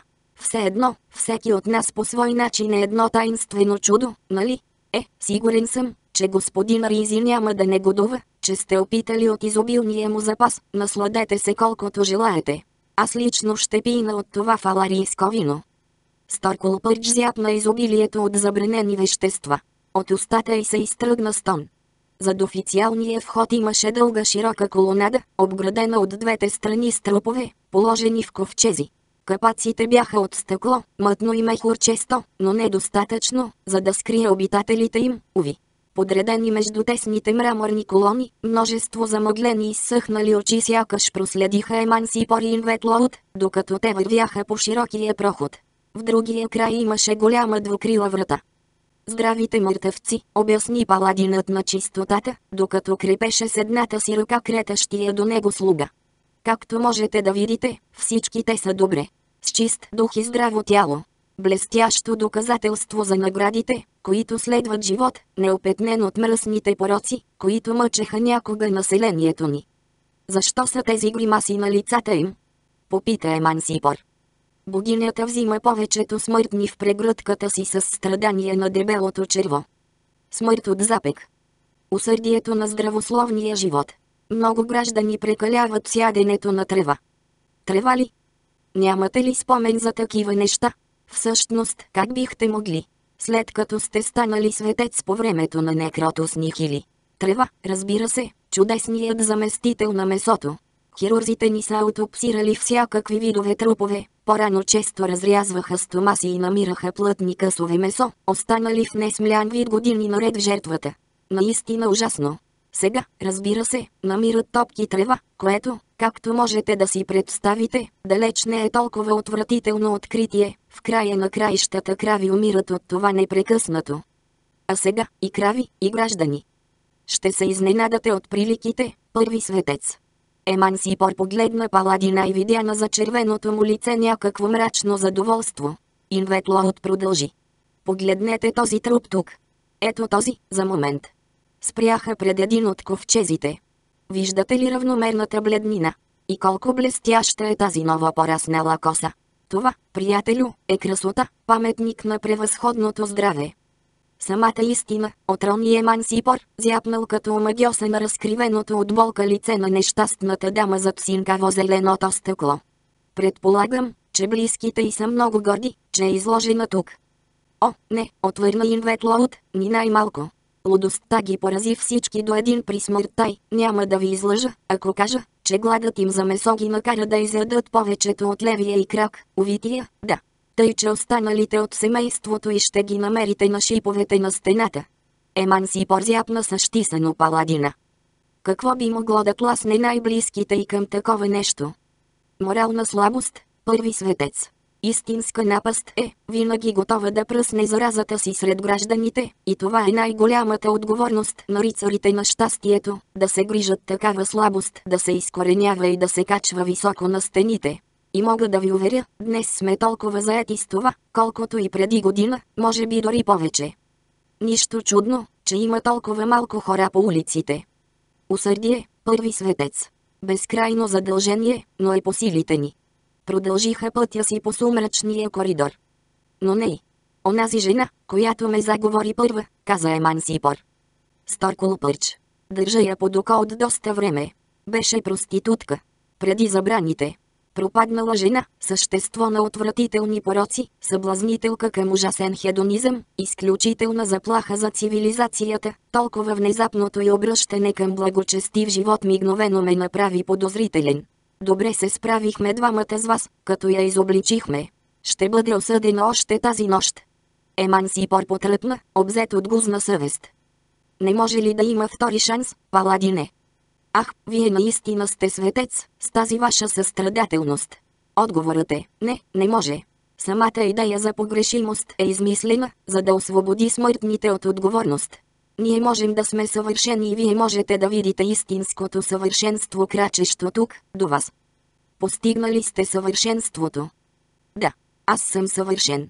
И да се оспорва тази истина означава да издадеш собственото си несъвършенство. Стигнаха до двукрилата врата. Инветлоът посегна към големите хълки. Но крилото отдясно изведнъж се отвори и смаза носа на паладина с влажно хрущене. Той залитна назад и от лицето му швирна кръв. Емансипор се олюля, подхлъзна се на кръвта, залитна напред през отворената врата и главата му се натресе в корема на една същисана слугиня. Дъхът изригна от гърдите и след като Емансипор падна по очи на пода, жената рухна върху него, а голямата купа, кацнала на главата й, се завъртя, голямо колкото мозък кълбо мокра трева изхвърча във въздуха като нещо оживяло, плесна долу и се хлъзна с зеленикав сос по плочите. Точно под левия бутуш на Инветлоут, който тък му пристъпваше напред. Паладинът се подхлъзна и тупна на пода на задник. Еман си поризпъшка, избута жената от себе си и се превъртя настрани. Видя зад себе си в коридора оплискания в зелено паладин. Слугинята най-сетне си поедах, опулила очи и зяпнала в паника. А някъде от стаята до ушите му стигна странен механичен звук, който се повтаряше в непрекъснат равнодушен ритъм. Той примига да махне сълзите от очите си, надигна се на четири крака и надникна. В стаята се извисяваше огромна машинария в желязна рамка, с всевъзможни колела, въжета ежици, а сред нея, овързана с ремъци и подплатени метални гривни, се виждаше човешка фигура. Беше увиснала във въздуха на цяла ръка разстояние от пода, сякаш мъжът се катереше във въздуха, макар и окован, и чорлавата му глава бавно се полюшваше в ритъм с всевъзможните оси, скрипци и храпове. Механизмът беше толкова голям, че нямаше начин да се доближи до фигурата, увиснала в центъра му изгръб към вратите. Беше ясно, че крал Макротус, кой друг можеше да е. Изобщо не е чул суматохата на входа.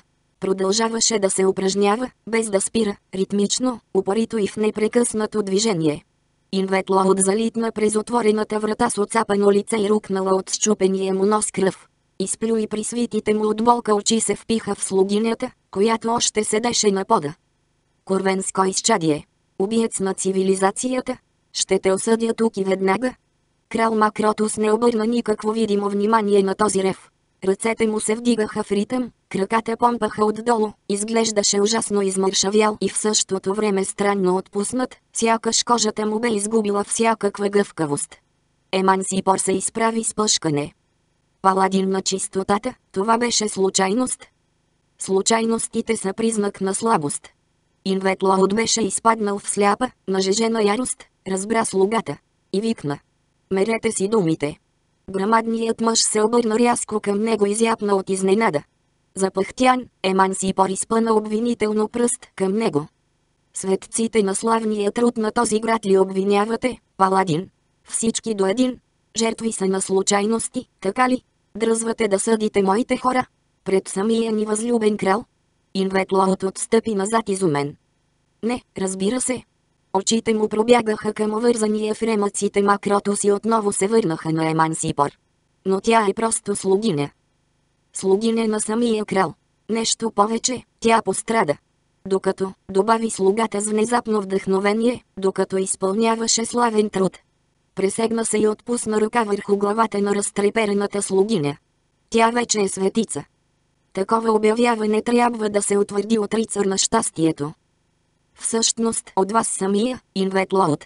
Нима крал Макротус трябва да види колебание? Не. Потвърждавам, че тази жена е светица на славния труд. Емансипор помогна на жената да се изправи и прошепна в ухото й. Бягай от тук, момиче. Бързо. Тя се поклони, прибра си купата и бързо заситни по коридора. Емансипор намери носна кърпа в един от джобовете си, подаде я на паладина и загледа как инвет избърса лицето си. Веднъж, после още веднъж, и пак, и пак, а очите му изведнъж блеснаха и се окрокориха. Изуменият слуга най-после се досети. Носната кърпа. Спори от опиум Дъбаянг. Мили богове. Паладине, кралят, изглежда, не е на разположение в момента. Както винаги, отвърна с странно неспокоен глас Инветлоуд. Но да, твърде заете. Упражнява се. Упражнява. Непрекъснато. Много умуваме. Бездействието е грях. Хайде да ходим. Притисна отново кърпата до носа си. Упражняване. Трябва да обходя улиците. Всички, да, до вечерта. Мога да го направя. Не ми ли вярваш? Ще ти покажа. Паладинът изхвърча навън. И Еман си поростана сам.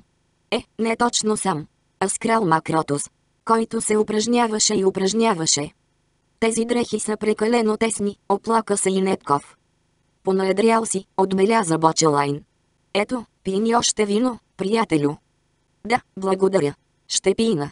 Но се чувствам. Стегнат. Близо до тях Сторкол Пърч крачеше нервно напред-назад.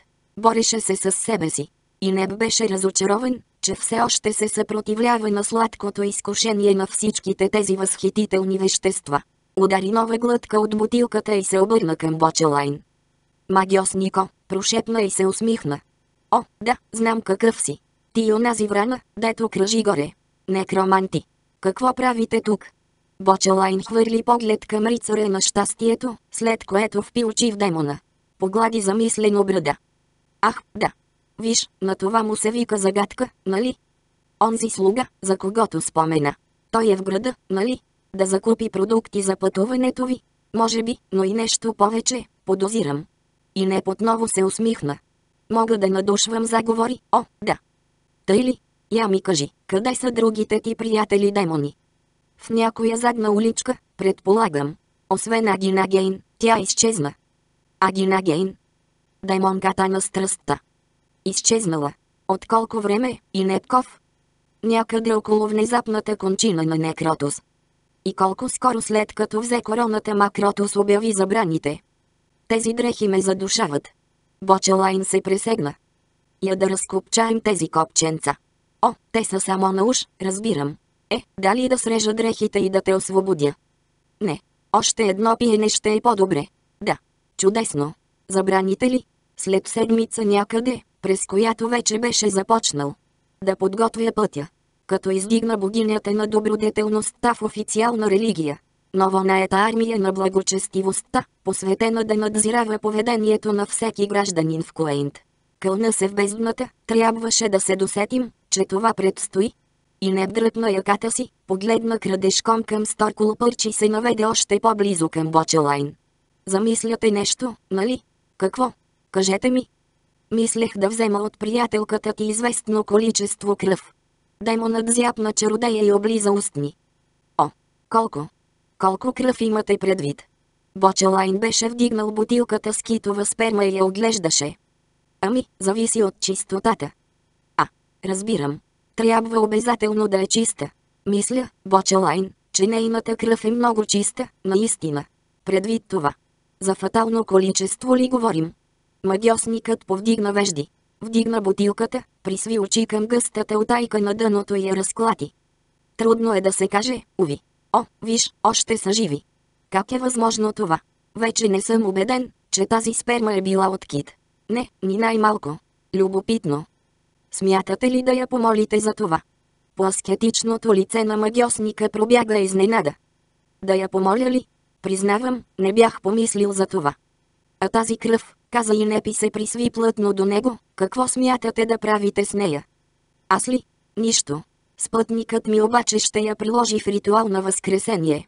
Демонът огледа небето за враната, но нея я нямаше. Той се размърда неспокойно. Възкресение. Разбира се, защо не се сетих? Мога да отговоря на този въпрос. Не можах, защото не ми казахте какво замисляте. Нищо драматично, уверявам те. Да свалим крал Макротус. Ще се постараем да опазим колкото може повече от населението на града. Искате трона на Куейнт. За нас. Едва ли. Какво да правим с него? Не, считайте го за услуга. Услуга. Ами, плаща ни се, за да премахнем бързо този ужасен уклон към здравословен живот. Макар че, честно казано, материалното богатство не ме интересува особено. По-скоро ме интригува предизвикателството. Бочелайн се изправи, обърна се към Сторкол Пърчи и извади нож. Животът на Имит Фактало никога не беше струвал кой знае колко. Такава поне беше собствената му преценка. Без жена, без деца, а и не беше мъж, когато жените ще гонят, освен ако не открадне нещо от тях. Така че самотата всъщност му беше близка, като стар приятел. Въпреки че уж да имаш приятел означава да не си самотен. Тази мисъл го накара да заключи, че самотата изобщо не е като стар приятел. Всъщност, ако имаше приятел, щеше да може да обсъди с него мислите си, понеже това правеха приятелите, явно разговорът щеше да е чудесен. Седеше на предното стъпало на скромното си самотно жилище и гледаше как една катерица подскача объркано по близкото дърво. Беше събирала седмици наред всевъзможни неща в очакване на идващата зима. Странно, такива гризачи като че ли отбягваха приятелска компания. Самотата беше желаното им състояние. Ето до какво води яденето на орехи и зърна, заключи той мрачно. Сегашното объркване на съществото нямаше никаква видима външна причина, което подсказа на имит, че източникът на тревогите идва отвътре, някакъв особен пристъп на безпокойство в малкия му мозък. Може би преживяваше морална криза и това го караше да подскача и цвърчи толкова гневно. За всичко беше виновен онзи проклет слуга, каза си имит. Греяно вино, ръждивец и дъранг, истинско изобилие от забранени вещества и безразличието, с което ги поглъщаше, беше отнело дъха на имит. Жесток като катерица беше този човек. Разсеял беше светеца на славния труд и още по-лошо, накарал го беше да мисли за насилие. До ушите му стигна приглушен шум, някъде от към великия храм на богинята. Тълпа. Далечни крясъци. Катерицата замръзна и кривна глава. После побягна. Врявата се усили. Светецът леко се наведе и надникна по улицата. Още писъци, пукот на счупени грънци, силен трясък. Хора изпълниха пространството между сградите. Тълпа. Прииждаше право към него. Притеснен, и мит се надигна от стъпалото. Стотина граждани, ако не и повече. Разкривени от ужас и паника лица, между тях, светци на славния труд. И достойни. И монахини. Какво беше това? Изпълниха улицата. Бутаха се и газеха всеки, който падне. Едно разплакано бебе се изтъркаля до долното стъпало точно по димит и той го вдигна бързо миг преди бутушът на един достоен да стъпи върху него. Дръпна се, опря рамене във вратата и зяпна обезумялата тълпа. А след нея вървеше паладинът на чистотата Инветлоуд. Беше извадил меча си и лъскавата стомана святкаше, размахваше оръжието над главата си и крачеше все едно, че води парад. или кара стадо овце. Слабаци! Ревеше паладинът. Бягайте, мръсна сган такава. Всички сте осъдени. Видях ви лицата. Подуших мръсния видах. Нечисти сте всички. Никой няма да избяга присъдата ми. Забеляза и Мити вече с мълчаното бебе в ръцете му и ги посочи с меча си. Свидетели сте. И мир зяпна. Бебето също зяпна. От покрива точно над тях катерицата и тя зяпна. В другата ръка на Инвет имаше носна кърпа, с която паладинът мършеше засъхнала кръв от лицето си. Очите му блестяха ужасно. Обявете се. Свидетели? Или понесете съдбата на нечистите? Свидетели сме. Вресна оплашено имит. Бебето благоразумно изгъргори. Паладинът на чистотата размаха триумфално меча и подкара стадото си напред. Нещо близо до великия храм гореше, димът се виеше нагоре и се трупаше на тъмни, почти черни облаци. За един ветло от имит с изненада видя Елас Сил, ситнеше крадешком към него. Елас. Тихо, глупако. Видя ли го? Полудял е. Замълча.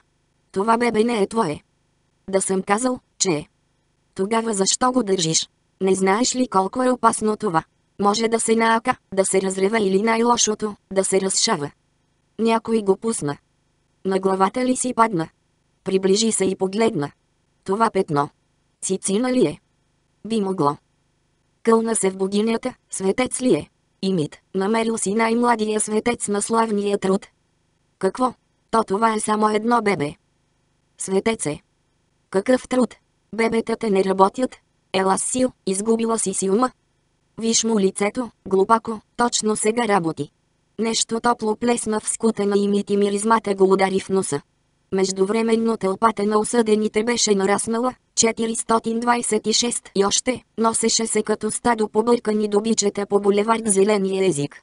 А от двете страни, по улици и задни улички, суматохата се разрастваше като гнила смет. Един говедар, повел 30 вола към двора на търговец месар, изтърва оплашените си животни и те се втурнаха полудели право към многото фургони, издърпани и оставени под паметника на пърленето, древно тухлено здание, 20 етажа високо, с съмнителен происход и неясно предназначение. Фургоните бяха тежко натоварени с буретелой, която се топеше през целия ден и покриваше подгизналото дърво с лъскава патина. Арто прочутия гълтач на огън, чиято прочутост напоследък се беше смалила до жалка пепел, минаваше покрай тях точно в този момент. Успя само да види тичащите към него побеснели волове, а след това го удари грамадна рогата глава. Ударът го изхвърли назад, гърнето с жравата, окачено на дясното му рамо, изхвърча и пръсна въглените си във всички посоки. Последвалият взрив беше чут и усетен от всеки гражданин в Куейнт, а рибарите в залива, които изхвърляха риби с четири перки от мрежите си, вдигнаха глави и видяха в учащо към небето огнено кълбо и поне три вола, премятащи се във въздуха над града, преди паметникът на пърленето да рухне пред очите им. Пламъците огряха прашните облаци в ярко-оранжево. Бочелайн бавно избърса острието на ножа с бял парцал. Погледна за миг към Инетков, а после се обърна на запад, където слънцето вече пълзеше надолу в пещерата на нощта и застина неподвижно като фигура в героичен гоблен. Демонът лежеше изпружен на земята, стегнат в отеснелите си кукленски дрехи. Добре, изръмжай неб, срежи ги да ме освободиш. Но внимателно. Няма защо да се притесняваш, демоне, каза Бочелайн и се наведе над него. Но ако продължаваш да се въртиш, няма да мръдна, обещавам. Лек плясък на криле издаде връщането на враната.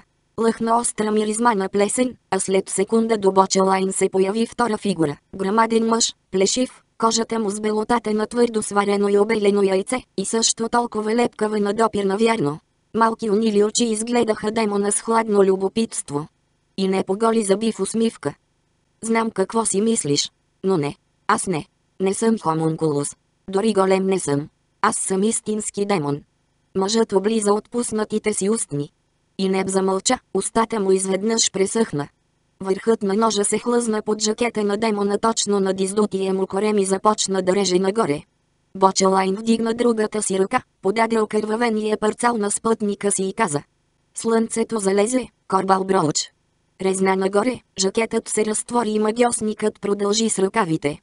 Корбал Броуч взе парцала и го вдигна към лицето си. Вдиша дълбоко, а после се усмихна, хвърли парцала в краката си и направи няколко жеста с дясната си ръка. А не чистите, Корбал Броуч? Попита Бочелайн. Кръглото лице на евнуха се смръщи разочаровано, почти кисело. А, разбира се, измърмори Бочелайн. Прощавай, приятелю. Още три рязвания и дрехите паднаха. Демонът се надигна и доволно си поедах. Чудесно. Така е много по-добре. Вече съм нов демон. Ще ми изтече кръвта. Проплака Сторкол Пърч. Бодна ти само пръста, жено. Изсумтя презрително и неб. Ще припадна. Бочелайн прибра ножа. Моля, седнете, госпожице Пърч. И неб, налей, ако обичаш, малко вино на рицаря на нещастието. И мит фактало, туниката му беше прогизнала и отцапана, затича по улицата. Елас си отичаше до него. Бебето се въртеше в ръцете му, но изглеждаше доволно. Зад тях един бегач на дълги разстояния, който се връщаше от гостуване на седем левги извън града и поради това умът му разбираемо беше разстроен, влетя в горящата сграда. И повече не излезе. Паникьосани животни и пощурели граждани тичаха във всички посоки през пушеци, искри и пепел. В енергиите още не се бяха появили и само пожарите в различни райони на града се бореха с пълзящата нощна тъмнина. Елас се вкопчи в ръката на имит и го дръпна. Насам. Побягнаха по тъмнала катушеща уличка. Не ни биете. Чу се писклив жален вик някъде отпред. Двамата спряха и се огледаха в тъмното. Оставете ни на мира. И мит фактало заситни предпазливо напред. И видя в сметта две малки фигури. Нелепо дребни и клющави. Отляво, мъж с набръчкана като на златна форма кожа. До него, жена, мъничка, но все пак зряла жена, сякаш някой извратен майстор беше направил цицестатен кокрака кукла, с която да глези болните си фантазии. Мостове на бездната. Прошепна Еласил. Какво са тия двамата? Сбръчканият отвърна. Аз съм дебелина, известен на много мои приятели като не се омързила. А приятелката ми е леност, Сенкер късната на име. А не ми ли намирисва тук на нещо? Нещо. Предстоящо? Съживяващо? О, да, мирише ми. Ти можеш ли да го помиришеш, Сенкер? Не мога да се занимавам с мирисане. Ах, да. Досадата се връща. С закъснение.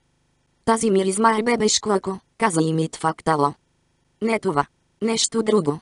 Нещо. Чудесно. Зад тях се разнесоха крясъци. Какво беше това? Попита Наусео. Ела си отдръпна и мир за ръката. Да се махаме от тук.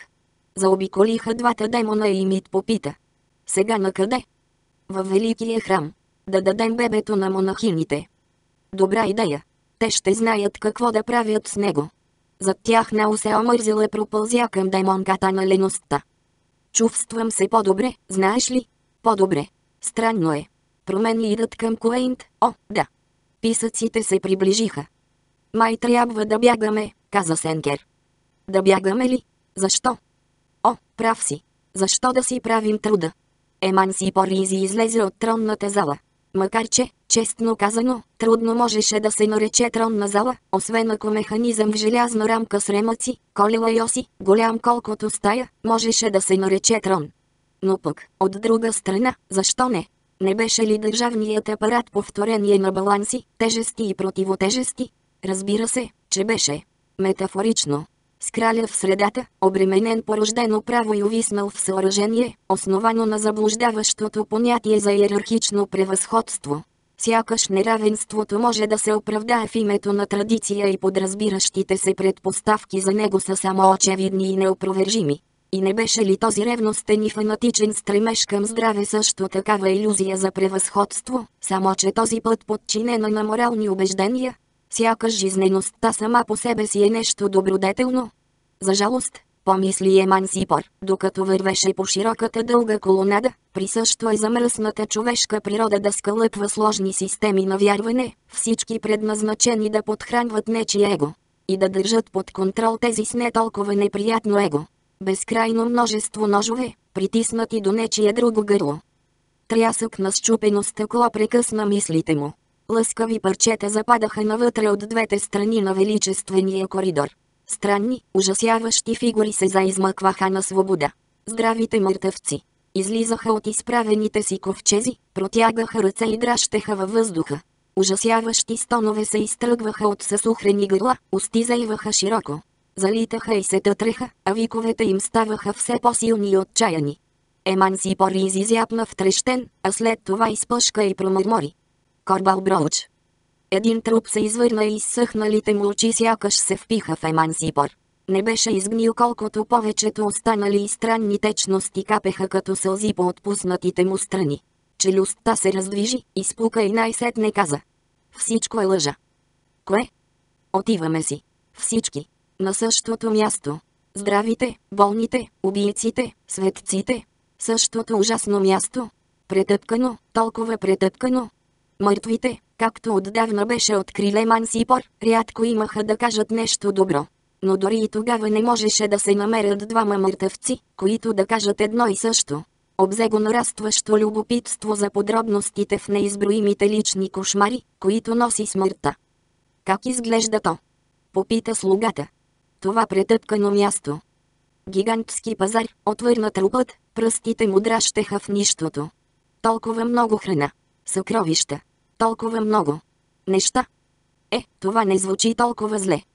Но нямам никакви пари. Изкрещя трупът и задраска с ногти лицето си, след това се обърна, тръгна на някъде и простена. Никакви пари. Никакви. Никакви. Всичка други имат пари, дори убийците. Защо не аз? Ох, защо не я аз? Еман си порзяпна след него. Мъртва жена залитна наблизо, сякаш се навеждаше и вдигаше от пода невидими неща. Това не е моето. Проплака тя. И това не е моето. Ох, къде е бебенцето ми? Чии бебета са тези? Ох, ох. Продължи напред, като вдигаше и захвърляше невидими бебета. Всички са толкова грозни. Кой е родил всички тези грозни бебета? Колонадата вече бе пълна с безцелно обикалящи трупове, макар да имаше някакво общо, безразборно почти стичане към външните врати. Еман си подозираше, че скоро ще започнат да търсят живите си близки, защото това правеха обикновено немрящите, щом им се удадеше възможност. Да изрекат последни съжаления, злостни обвинения или празен хленч. Жалки в повечето случаи само понякога, смъртно опасни. Все пак, реши Еман Сипор, малцина в Куейнт щяха изобщо да забравят тази нощ. В името на бездната. Прошепна и Мит Фактало. Онзи мъж там определено не изглежда здрав. Свита в сенките до него, ела сил и сумтя тихо, след което изсъска. Защото е мъртъв, идиот такъв.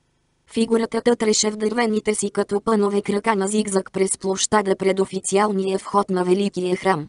Откритото пространство бе затрупано с смети осеяно с мръсни лакви, но освен самотния мъртвец беше пусто. Някъде за тъмното ловище на храма горяха сгради и изкрящият дим се къдреше в нощното небе. Писъци и ужасени крясъци стигаха до тях от всички страни, от всяка улица и пресечка. Какво стана? Попита с разтреперен глас Имит. Опитай се да използваш малко този твой здрав мозък, глупако, сопна се Елас. Това е по наша вина. Твоя и моя, и мит фактало. Той примига. Очите му зашариха насам натам и накрая се спряха на нея. Но нали всички бяхме светци, всички? Ние бяхме просто тези, които занесоха парите. Зяпна отново залитащия труп. Изобщо не казаха нещо за, а, за вдигане на мъртвите. Те са некроманти. Но как ще ни отърве това от крал Макротус? Ше, ше, те. Полудяли, нито дума повече за това. И Мит Фактала погледна бебето в ръцете си и прошепна. В името на богинята. Какво направихме? Що за живот ще намери това дете тук? О, успокой се, каза Еласил. Тези трупове рано или късно ще се разпаднат. После просто ще съберем парчетата. И ще ги заровим някъде. Мислиш ли, попита и странно останал без дъх, че всеки, който е умрял. Еласил го погледна накриво. Тайни си имаш, а? Не, нищо такова.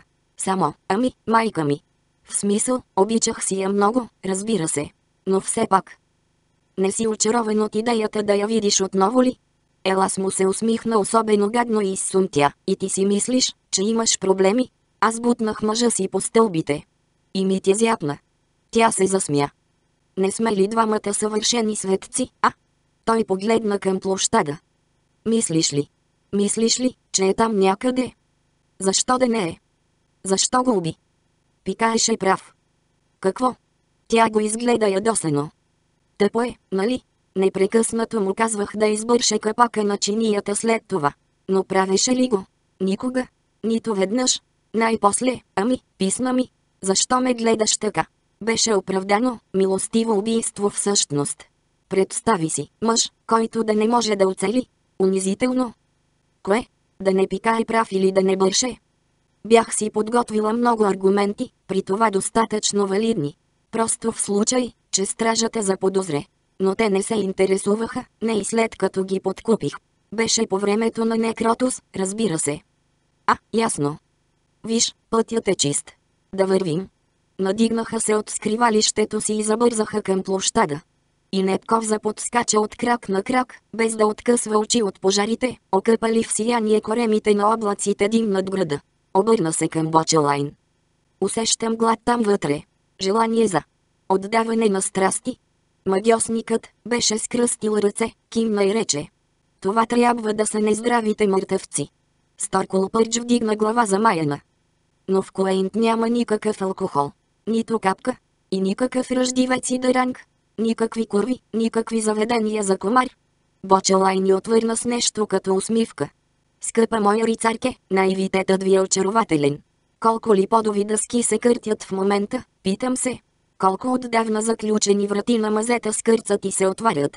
А когато живите видят какво са разкрили мъртвите им гости, всички онези добре скрити запаси, ами, дори светица като вас би трябвало да си направи правилните заключения. И Непков заподскача към Сторкол пърчи клекна до нея. Още винце.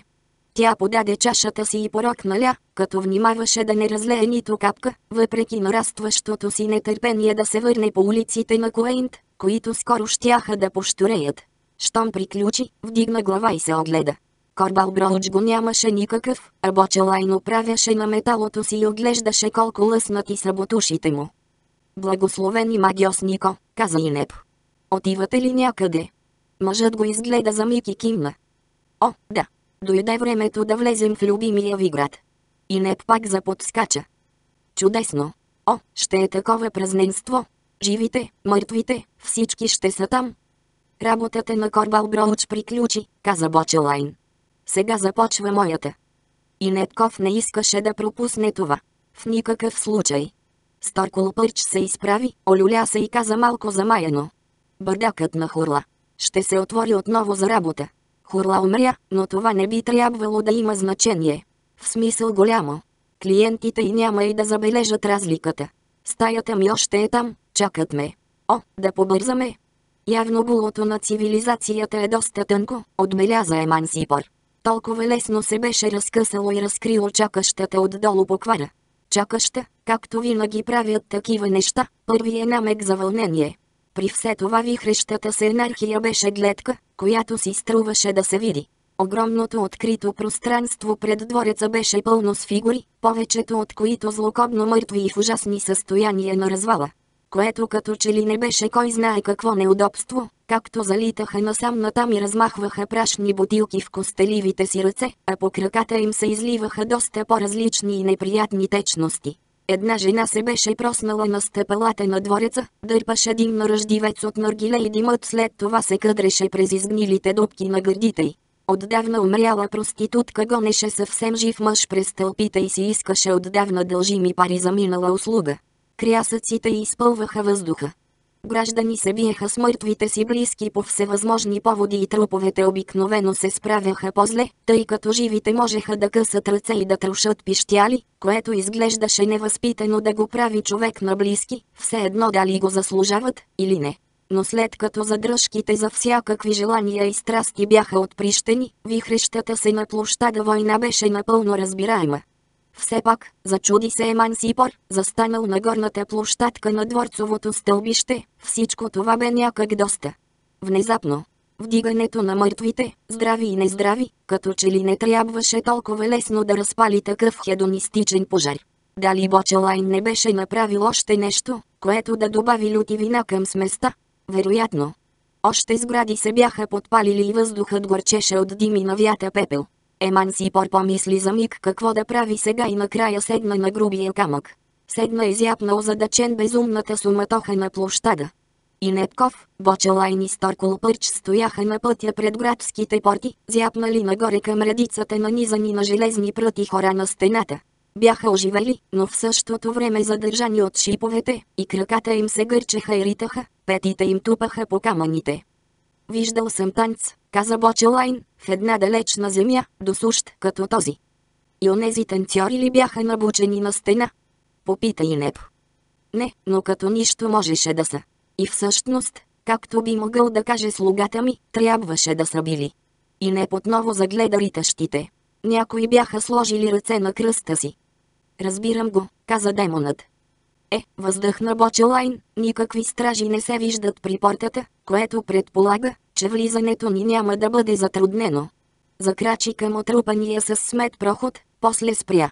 Но първо трябва да изпълня едно обещание. Погледна отново нагоре към стената. А, ето го и него. Последва жест и Непко видя как един от танцуващите трупове се вдигна от набучилия го метален прът, после бавно се понесе надолу, като все още риташе с ръце на кръста. Устата на трупа се отвори широко и той изкрещя. Не мога да спра. Помогнете ми. Искам този пъклен танц да спре. И някогашният крал Некротус най-сетне кацна на пътя и се свлече в канавката. Последва тупане и мятане на ръце и крака, след което мъртвешката глава се надигна и се люшна на мършавия врат. Скъпи кралю, каза Бочелайн, свободен сте и виканя да дойдете с нас. Влизаме в Куейнт. Трупът се надигна и потрепери. Добре. Да. Искам главата на оня кучи син. Искам да я откъсна и да я ритам по улицата. О, хайде да посетим скъпия ми брат, да, да побързаме. Изглежда, каза Бочелайн, след като ги поведе през портата, че много от сегашната тъкан на благоприличие се е протрила във вашия град, скъпи кралю. Не, направо се е раздрала и това изобщо не е по моя вина. Радвам се да открия въпросното доказателство за собствените ми драгоценни убеждения. За какво? Говориш? Попита с пиянски глас Сторкол Пърч. Ами, ако преобразуваме метафората, говоря за това, че благочестието е само една тънка пътина, направена достатъчно мътна, за да прикрива истинската природа на нашия вид, но все пак крехка и тънка. Кой го интересува това? Настоя Некротус. Аз просто си искам трона. Но дали гражданите на града ви ще приемат управлението на немрящ крал? Щом са приели толкова лесно да ги управляват родени с умрял мозък, магиос Нико, изръмжа дрезгаво Некротус, защо не? Е, отстъпи Бочелайн. Вярно е, че простолюдието се радва на скандали, стане ли дума за кралски особи. Предполагам, че това спокойно може да се квалифицира така. Тази нощ гражданите бяха навън, дишащи и бездиханни, спретнати и здрави, опърпани и разкапани. Чуваха се дрезгави викове и накъсани пронизителни писъци, дивашки смях и трясък на бутилки. Пожари бушуваха на фона на нощното небе, пушек се къдреше и трупаше на облаци. И, както видя и Непков, всякакви драми се разиграваха пред очите им.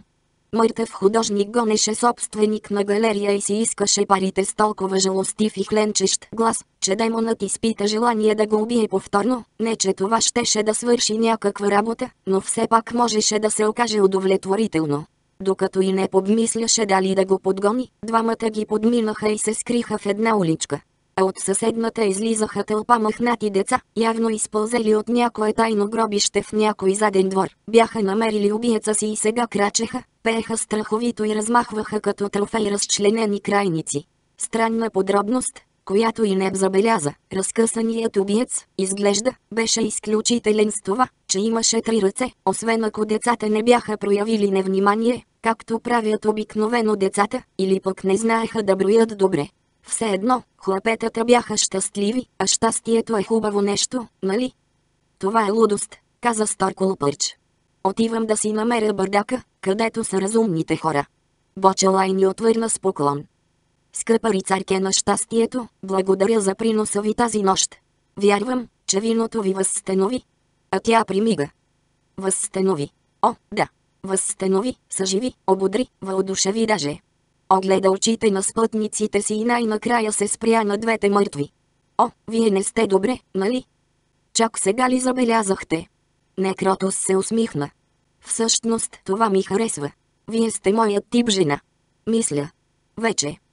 Само за да не си направите погрешни изводи, не вървя ефтино, каза високомерно Сторкол. Отвратително, измърмори и Непков. Но прелестно. Да продължим ли все пак? Обърна се Бочелайн към некрото си в отговор той потрепери и кимна. Сторкол пърчи с хъмка и тръгна на някъде залитайки, сигурно към стария си бърдак. Крал Некротус направи кратко спазматично усилие да среше с костеливи пръсти дългата си чорлава и надцвъкана с птичи корешки коса, а после тръгна с весела стъпка, като дори подритваше. О, ще танцувам! По целия път до двореца? О, колко унизително! Некромантът погледна питащо и Непков и демонът кимна. Абсолютно. С вас двамата съм. Не бих пропуснал това, няма начин. Всъщност бих искал да направите още нещо за мен, каза Бочелайн. Гадно ли е? Ами, да, предполагам. Добре, тогава ще го направя. И Мит Фактало, бебето и Еласил излязоха пред просторния преден вход на великия храм на господарката и зяпнаха опулени десетките тела, нападали по широките стъпала към подиума и ултара на него. Клане, каза с разтреперен глас и Мит. Еласис сумтя и поклати глава. Не непременно, да виждаш кръв. Не виждам никаква кръв. Ами, доста тъмно е. Не, дори под стойките с факлите няма. Но никой не се движи. Прав си. Адски е странно. Хайде, ела да видим отблизо. Тръгнаха през площада. На две улици зад храма гореше жилищна сграда, бълваше в небето искри и на техния фон силуетът на храма на господарката се очертаваше като тъмна затворена гробница. Типично, изсумтя Еласил. Свили са се вътре като под обсада и предполагам, че е точно така. Май няма да чуем скоро зловещи възвания от ултара, а? Богинята сигурно трепери от страх в някоя дупка. Ше, ше, ше. В името на бездната, елас, луда ли си? Луда ли? Луда съм, да. Направо побъркана. Приближиха се към стълбището и пръснатите по него тела, тела, които започваха да се размърдват, чули гласовете им. Надигаха се глави, замаяни очи се впиваха в тях, и Елас спряха. Тя няма да ни спаси. Изохка някаква жена. Нездрави хора. Навсякъде. Пиене. И дим, навсякъде. Ах, призлява ми. Само като ги видя. Погнуса, гадост, болест, мор. И всички застенаха в хор. Погнуса, гадост, болест, мор. Богиню на бездната. Възкликна шепнешко мимит. Добродетелни наивници. И виж, гаснат пред очите ни, Спомни си какво ни учиха като светци, каза Елас. Разгулът, стане ли повсеместен, е като мор. Убийствена, всепоглъщаща орда демони, покваряващи умове, тела и души. Разгулът е зловещото бягство от естественото страдание, а естественото страдание е верният път, по който трябва да се върви. Защо? Защото е единственият честен път. И Митя изгледа. Не вярваше на целия този буклук, нали? Не, разбира се, но тези хора вярват. И убежденията им ги убиват. Точно така. Но това е безумие. С бебето на ръце и Мит Фактала пристъпи напред. Чуйте ме. Аз съм светец. Чуйте ме, всички. Стенещите се смълчаха. Изпълнени с надежда очи блеснаха към него на светлината на пламъците. Нима не виждате. Трезвостта означава ясен поглед, а ясният поглед означава, че виждате истината, Виждате точно колко жесток, безразличен и грозен е всъщност животът ви. Виждате как други хора ви контролират, контролират всяка страна от окаяното ви съществуване, и не просто ви контролират, ебават се с вас. Ахкания и един самотен приглушен писък отвърнаха на необмислената ругатня на имит. Не може да говориш така. Мръсно, мръсно. Не, не, не искам да слушам това. Бебето проплака. Всичко е само думи извика Имит. Никой от властващите всъщност не дава едно шибано. Тишина. Думата прозвуча гръмко и отекна, ясно и силно, от входа на храма. Добродетелните по стъпалата се заизвръщаха натам с облегчени въздишки. И Елас се взряха в загърнатата в сиво монахиня, която пристъпи напред и застана вдясно от ултара. Громогласната монахиня. Извика някой. Бебето отново проплака. Коленете на Имит се разтрепериха, щом жената в сиво изпъна обвинително пръст към него и изсъска. Ти? Аз. Отвърна Имит инстинктивно. Холител на лъжливи истини. Какво? Изуми се Еласил. Нечестивец. Възвестител на всичко, което не трябва да се знае. Е, викна и Мит, внезапно и необяснимо удързостен, доста късно е вече за това, нали? Нови ахкания. И още по-лошо, зад тях на площада се събираше тълпа. Мъртви, както и живи. О! Каза Елас за Димит, сега вече я загази. Монахинята вдигна ръце и извика. Присъда ще има. Господарката на благонравието ще говори. От пресветия си ултар. Ще говори. Странен стържещ звук отекна от грубия каменен саркофаг до монахинята, а след него се чу треперещ глас. Бебе ли надушвам? Един шамар по огромната отпусната буза, после друг, и още един, и още, и... Спри, моля те, не ме бий. Наусео. Събуди ли се? Две размътени преситени очи примигаха, изуменото изражение се стопи, заменено от мръщене. И Непков. Какво правиш, искаш да ме убиеш ли? Искам да те събудя. Спях ли? Не е изненадващо, знаеш ли. Пълен съм до пръсване. Каква нощ? Толкова неочаквано. И Непков стоеше на гърдите на демона на дебелината, или поне си мислеше така, може и да беше само на лявата част, тъй като Нео се омързила се беше издул и бе запълнил цялата уличка, плът се беше струпала по край двете стени и още плът се изливаше надолу почти до входа на уличката. Все едно, каза и Непи се оригна с мирисен на вкиснала бира дъх. Трябваш ми буден и прав. Чака ни пътуване. Пътуване ли? Къде? Недалече, обещавам. Не мога. Много ще е трудно. Много ще е трудно. Богове, откъде се взе този глад? И не клекна и се почеса по пъпчивата челюст. Спотайвал се е, предполагам. Крил се е, дебнел е. Колкото до храната, да виждаш някакви псета по улиците. Котки, коне, и аз не виждам. Тая нощ беше кървава баня и не е свършило още и наполовина. Кой можеше да си представи всичко това? Та какво стана все пак? Попита Наусео. Някой от града е наел двама некроманти да свалят тази ужасна тирания. Подръпна носа си, понеже го сърбеше и течеше от всичката прах, натъпкана в него. Май са започнали доста добре. Некроманти ли? Да. Единият е магиосник и освен това обвързва демони, което много ме изнервя. Изнервя ме, Наусео. О, да. Все едно, още не ми е посягал, което приемам за добър знак, след като бях толкова слаб, като се запознахме. Но вече никакви грижи, нали? Наусео леко се размърда и грамади от плът се затъркаляха с грохот по Динеп. Твърде силни сме вече. Няма жив обвързващ, който да може да ни вземе вече, каквито сме силни. Дано да си прав. Та значи тия некроманти, изглежда, държат на думата си. Ще дръпнат макротос от трона, ще тупнат някой не толкова ужасен на мястото му и Коейнт се връща към нормалното си разумно и грохнало състояние. Може да е дори самият некротус, другият го е възкресил, знаеш ли? О, каква радост! Все едно, трябва да тръгваме. Да си вижда леност напоследък. Ами, тук някъде беше. Някъде изотдолу отекна смътен стон. Когато Емансипор изизърна Бочелайн, жителите, които все още можеха да мърдат, бяха продължили напред. Господарят му крачеше бавно, стиснал ръце зад гърба си и се спираше от време на време да размени дума две с разните сакати мъртви и немрящи граждани, докато се приближаваше нехайно към дворцовите стъпала, където бе седнал слугата. Бочелайн вдигна глава и присви очи към Емансипор. Крал Макротос вътре ли е? Емансипор кимна и каза. О, да, няма да ходи никъде. Бях в компанията на крал Некротус, рече некромантът и се огледа. Но, изглежда, сме се разделили. В тази тълпа. Все едно, подробностите не са важни. Доколкото схващам, господин Ризи не те е заговарял труп, решил на всяка цена да влезе в двореца. Не, господарю. А, разбирам. Любопитен съм, господин Ризи, дали ти е хрумнало, че събитията са се задвижили с определено хищна скорост?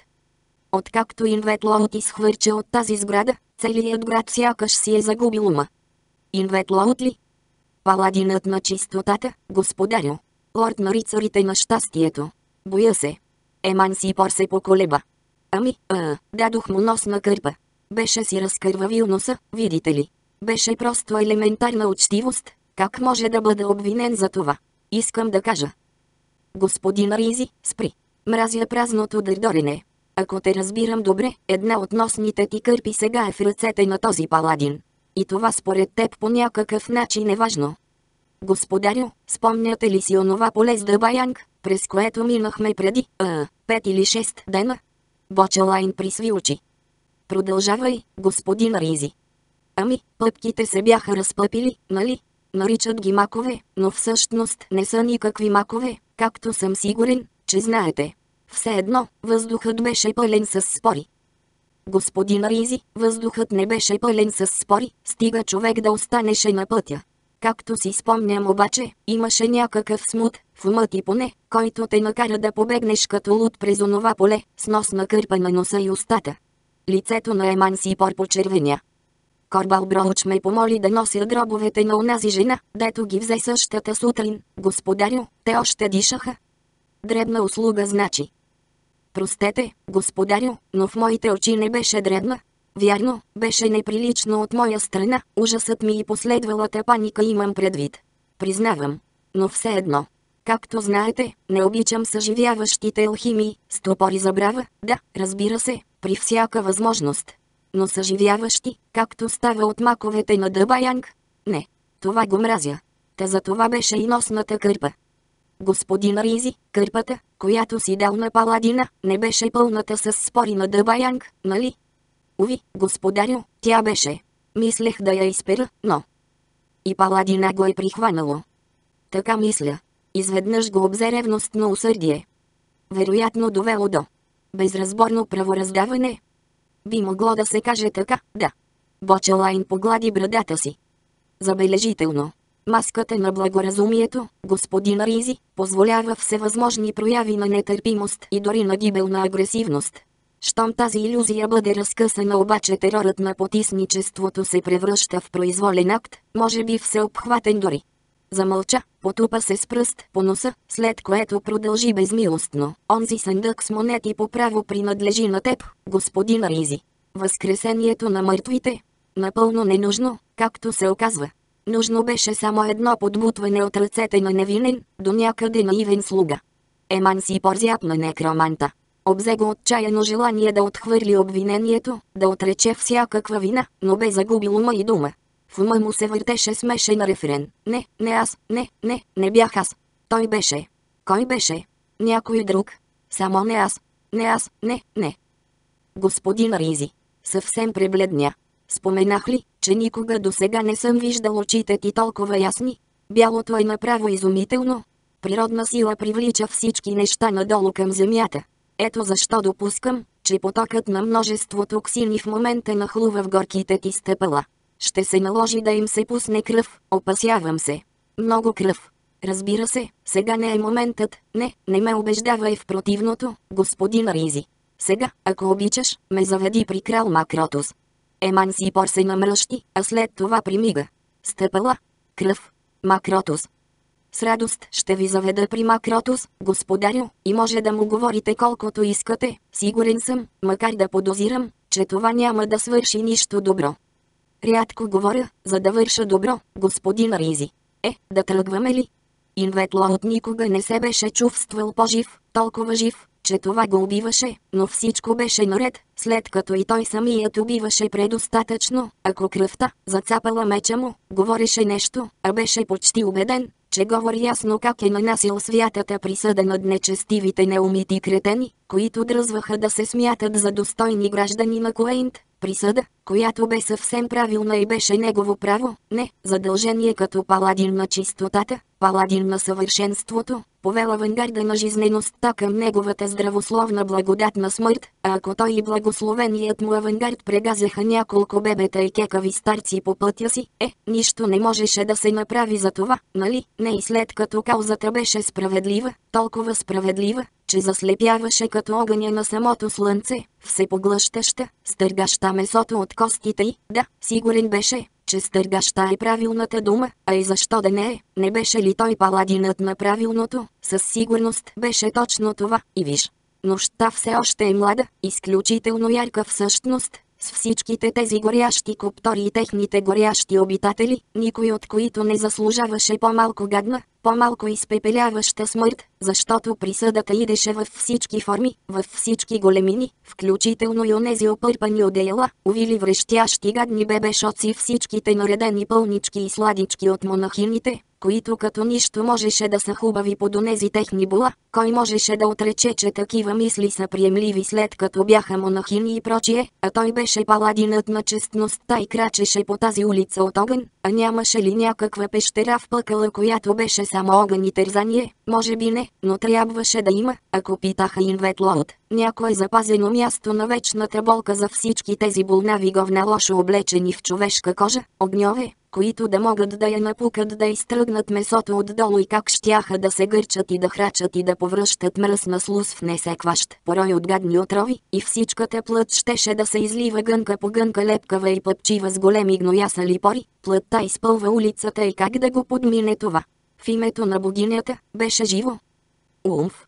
Издиша огромното тяло при внезапния сблъсък. Дивашкото връхлитане на Инветлоуд беше спряно. Той се блъсна в отпуснатите гънки плът, след което отхвърча назад и тупна по задник. Примига и от носа му пак швирна кръв. Боли. Изхленчита на глас.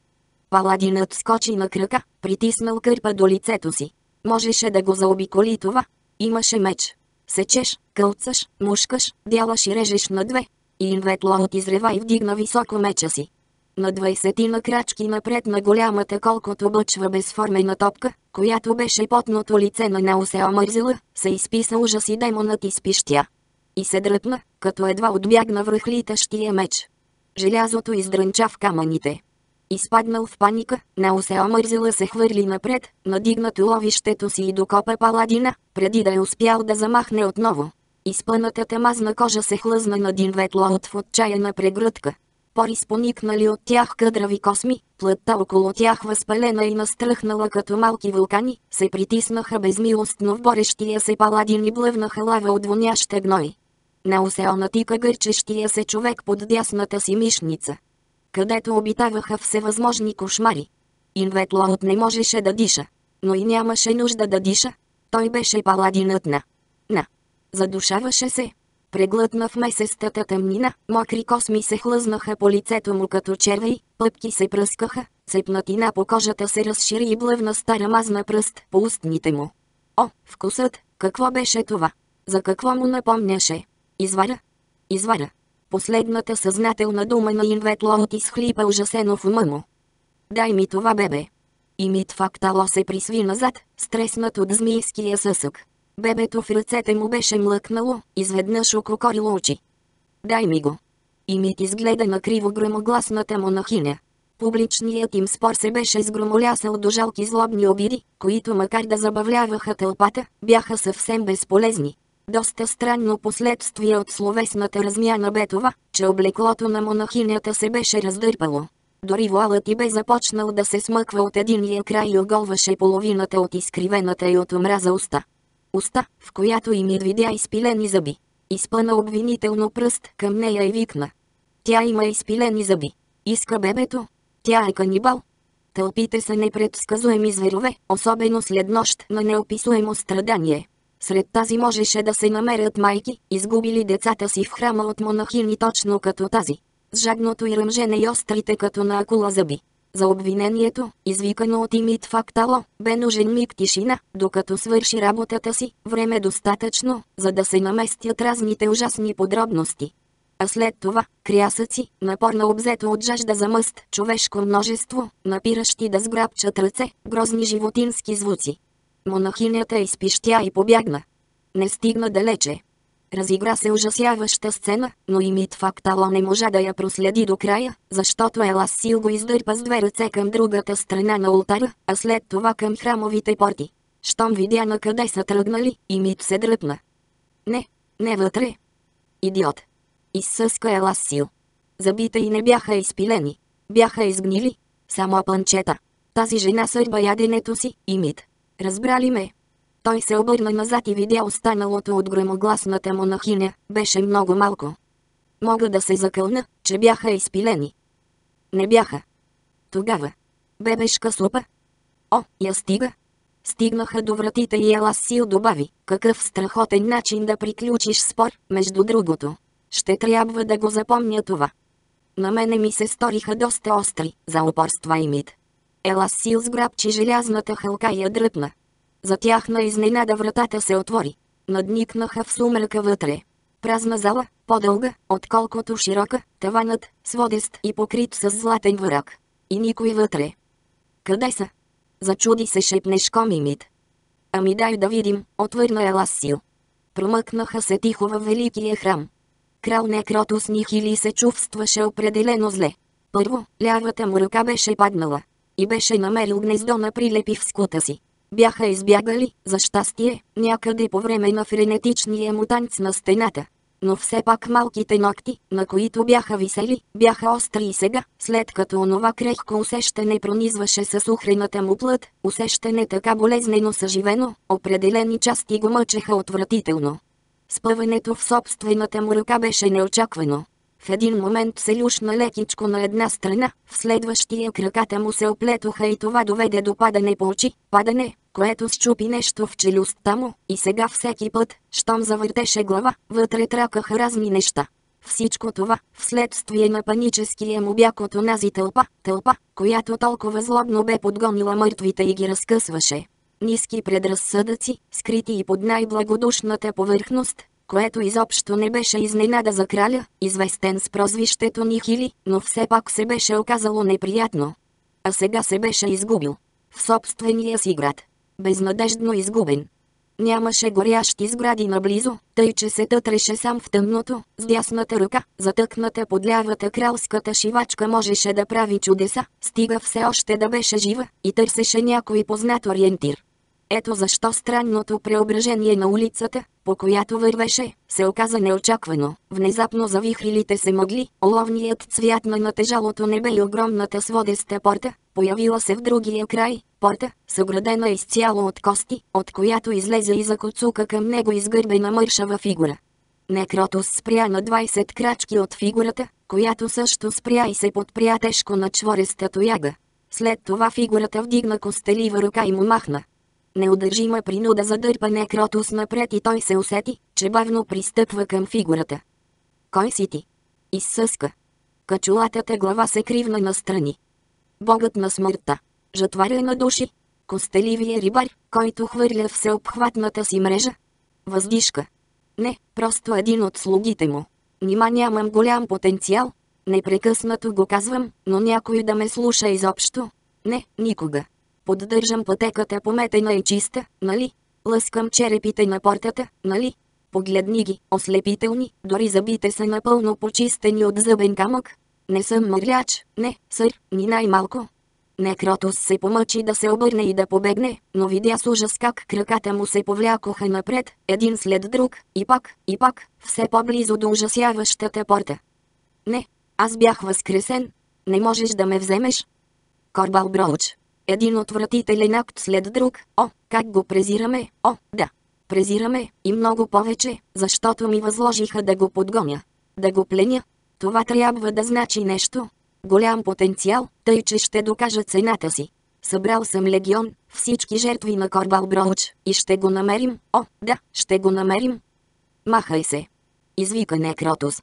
Слугата се сепна. Какво? Махай се. Мразя те, няма да мина през тази пъклена порта. Вие ме. Мразите? Стънък гласец. Да. Но какво лошо съм ви направил? Принуждаваш ме да мина през тази порта. Не обвинявайте мен за това. Аз просто си върша работата. Нищо лично. Разбира се, че е лично, мършав идиот такъв. О, всички сте едни и същи. Измъквам ви от жалкото ви съществуване, а да сте благодарни някога. Не, никога. Вие и скъпите ви убеждения, множеството ви заблуди и безсмислени вери, изкусните ви само заблуждения, целящи да измамят неизбежното. И вие ме мразите? Не, аз ви мразя. Всички. И слугата се обърна рязко и закоцука в дървено обратно през портата. Последва силен трясък и сцената пред Некротус изведнъж се разпадна и разкри познатата улица на Куейнт, по която беше залитал до преди малко. Той се огледа и промълви озадачено. Той, не ме поиска. Какво пък, това беше добре, нали? Защо тогава се чувстваше така? Обиден? Крал Некротус Нихили тръгна отново. Все пак трябваше да разбере къде точно се намира. Двойно изтупване в краката му. Той спря и погледна надолу. На кълдъра лежаха две ръце. Мамка му. После главата му се изтъркаля, лявото слепо очи я изпръщя на камъните, всичко пред очите му се завъртя. О, това изобщо нямаше да свърши добре. Бочелайн се покатери в машинарията и като избягваше люшкащите се лостове и заобикаляше стържещите зъбчати колела, се добра до крал Макротус. Застаналият до оставената на пода от слугинята вечеря Еманси Поризи го наблюдаваше с неволно възхищение. Некромантът не беше човек, отдаден на физическите упражнения, но си оставаше жилав и гъвкав, дори в бойна форма за редките случаи, когато магия, хитрост, измама и мушкане в гърба се окажеха безполезни. Физически изглеждаше на около 60, макар и стегнати 60, но се движеше с изяществото на танцор. Резултат от здравословен живот. Възможно. По-вероятно магия обаче. Е, господарю. Подвикна отдолу Еман Сипор. От колко дни според вас? Бочелайн се наведе да огледа по-добре и отвърна. Поне две седмици. Мисля, че сърцето му се е пръснало. Внезапно и катастрофално. Некромантът го погледна през рамо. Ти как разбра? Еман си порсвира мене. Не яде. Бочелайн заслиза надолу. Застъпниците на енергичните физически упражнения, каза чародеят, са общо взето в неведение, че упражнението като понятие, отделено от труда, е дар на цивилизацията, произлязал от високия социален статут и свободното време, проистичащо от това. Истински отрудените хора не се интересуват от гимнастика, естествено. Измъкна се от дрънчащата и скърцаща машинария и спря, за да изтупа праха от наметалото си. Съответно, един очебиен факт, който е добре известен на трудещите се, но явно се губи на онези, които фанатично се упражняват, е, че тялото, органите му, мускулите и костите му, неизбежно се похабяват. Убеден съм, господин Ризи, че например, има определен брой удари, на които е способно едно сърце. По подобен начин на всички мускули, кости и други органи е определена специфична граница на функционирането им. Махна назад към напрягащия се над лостовете труп на крал Макрото с изумително милия. Да тласкаш собственото си тяло към тези граници е, по мое мнение, връх на глупостта. Господарю, наистина трябва да се махна от този град, примоли се Емансипор. А, това би било отстъпление. Гледаха се един дълъг миг. После Бочелайн се покашля. Очакваме една последна задача. Предвид неочаквания обрат на нещата тази нощ, господин Ризи, мисля, че твоите задачи в Коейнт приключиха. Тъй, че ти давам позволение за ме-ме отстъпление.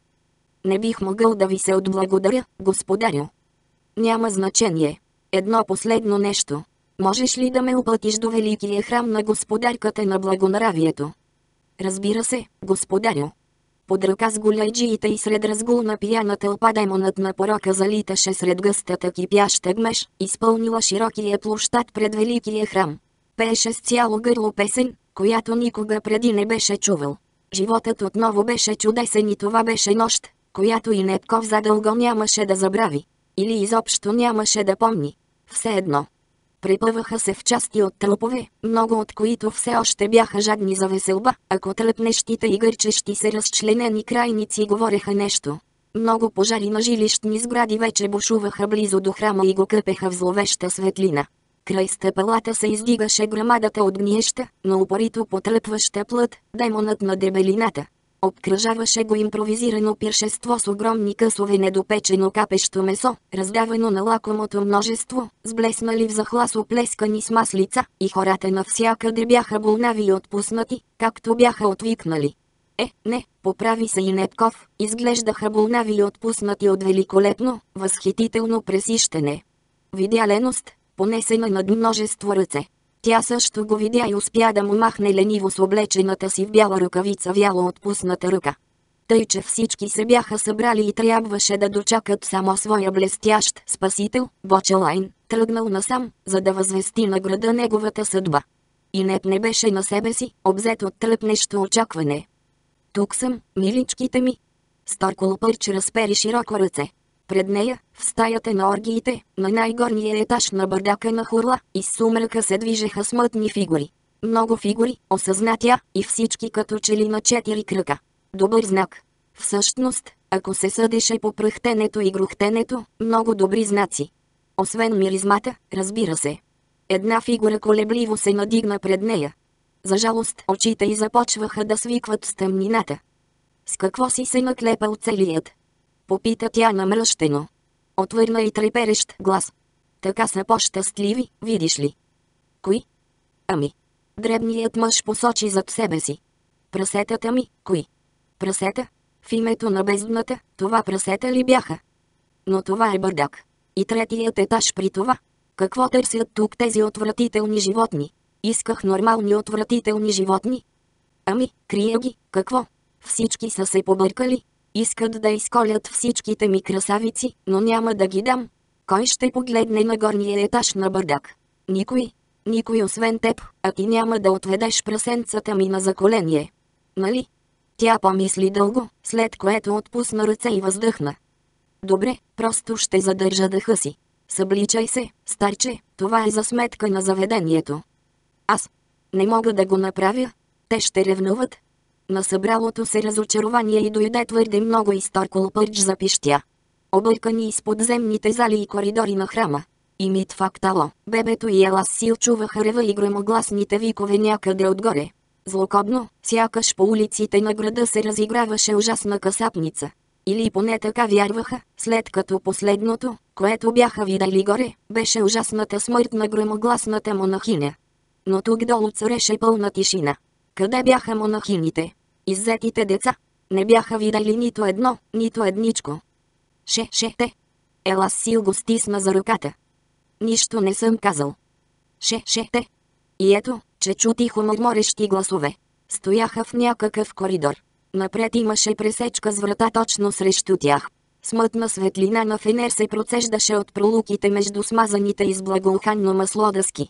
Елас го задърпа към вратата. Тук е, прошепна Имит. Тя го изгледа накриво. Тук готвят бебетата, обясни Имит с разтоптяно сърце.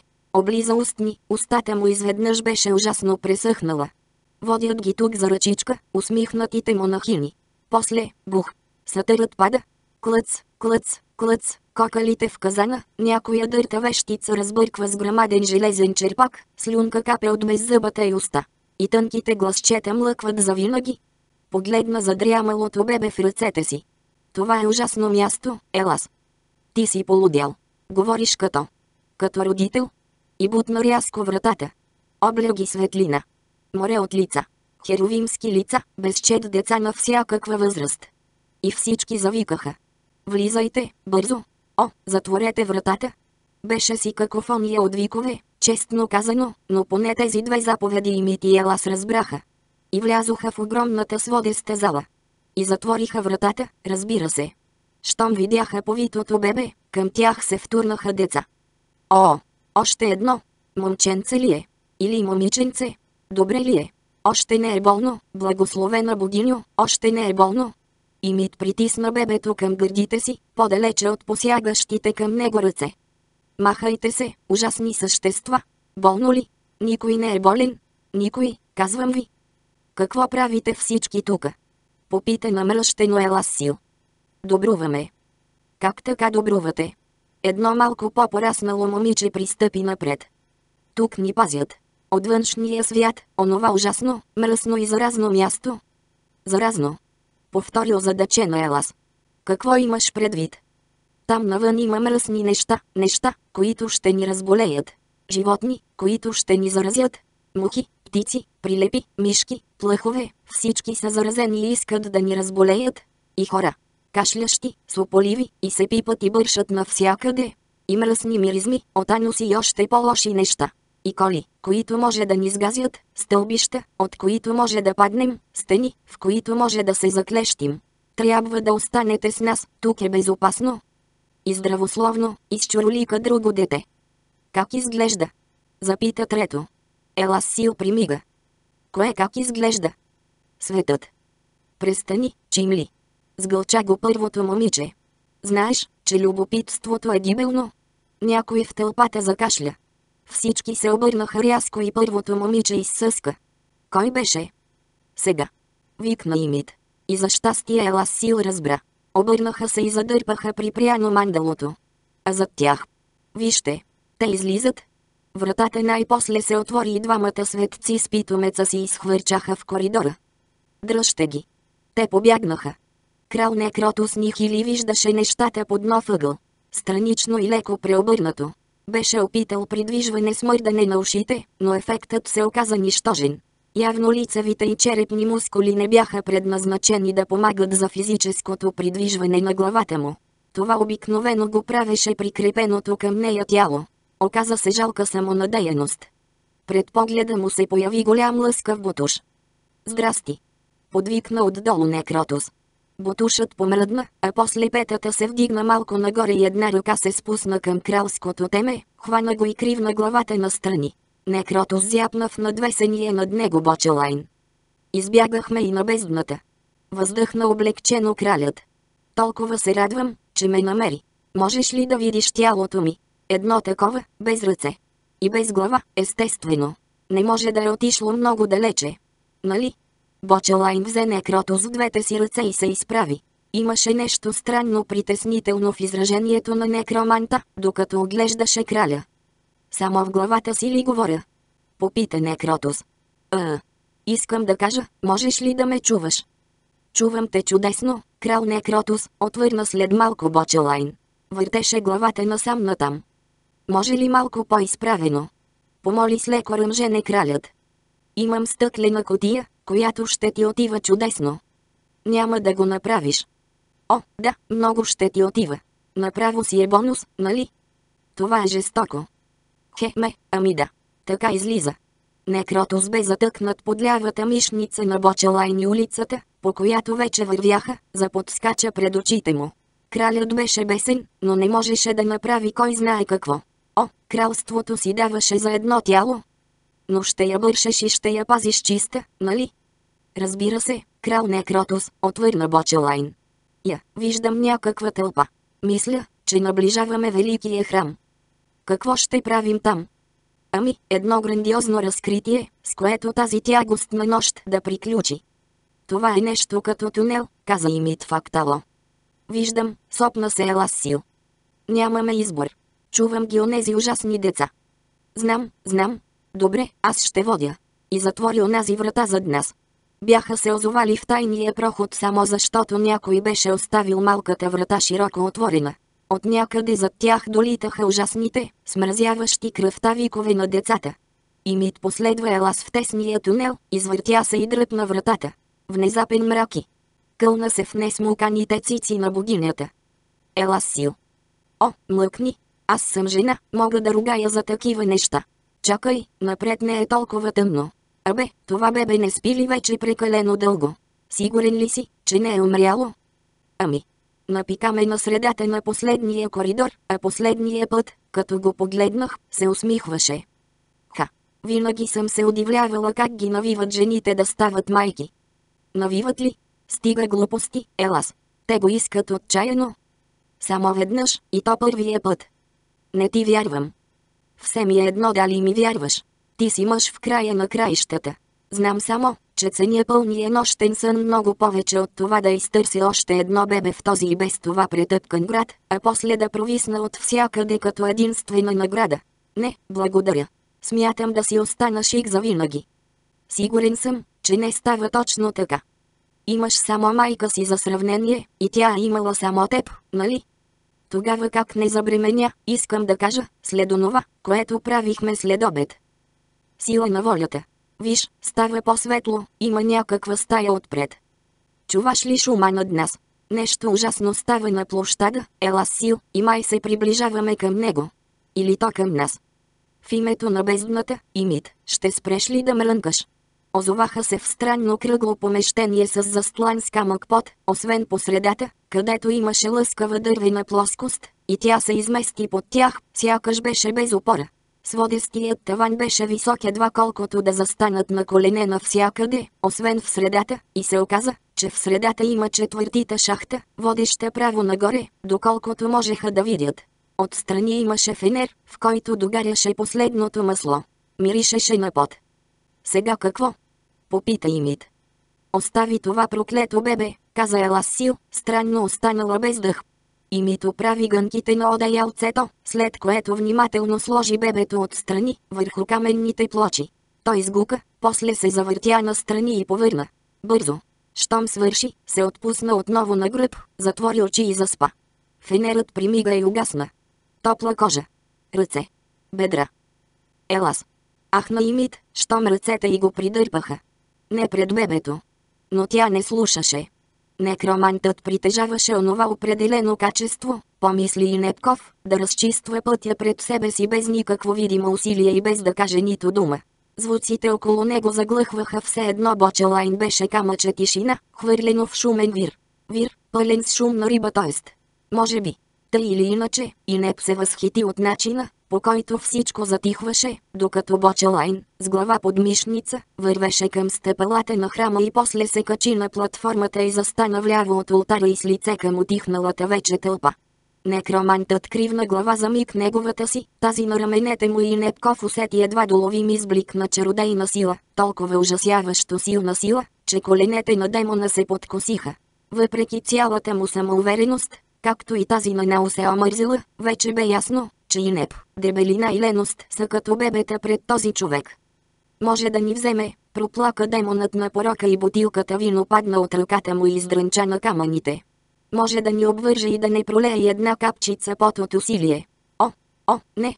Бочелайн вдигна дясната си ръка и глух шепот заляна вълна струпалите се на площада граждани. Под лявата му мишница главата на крал Некротус също гледаше напред, със ухреното лице се кривеше в странни гримаси. Некромантът заговори. Жители на Куейнт, чуйте ме.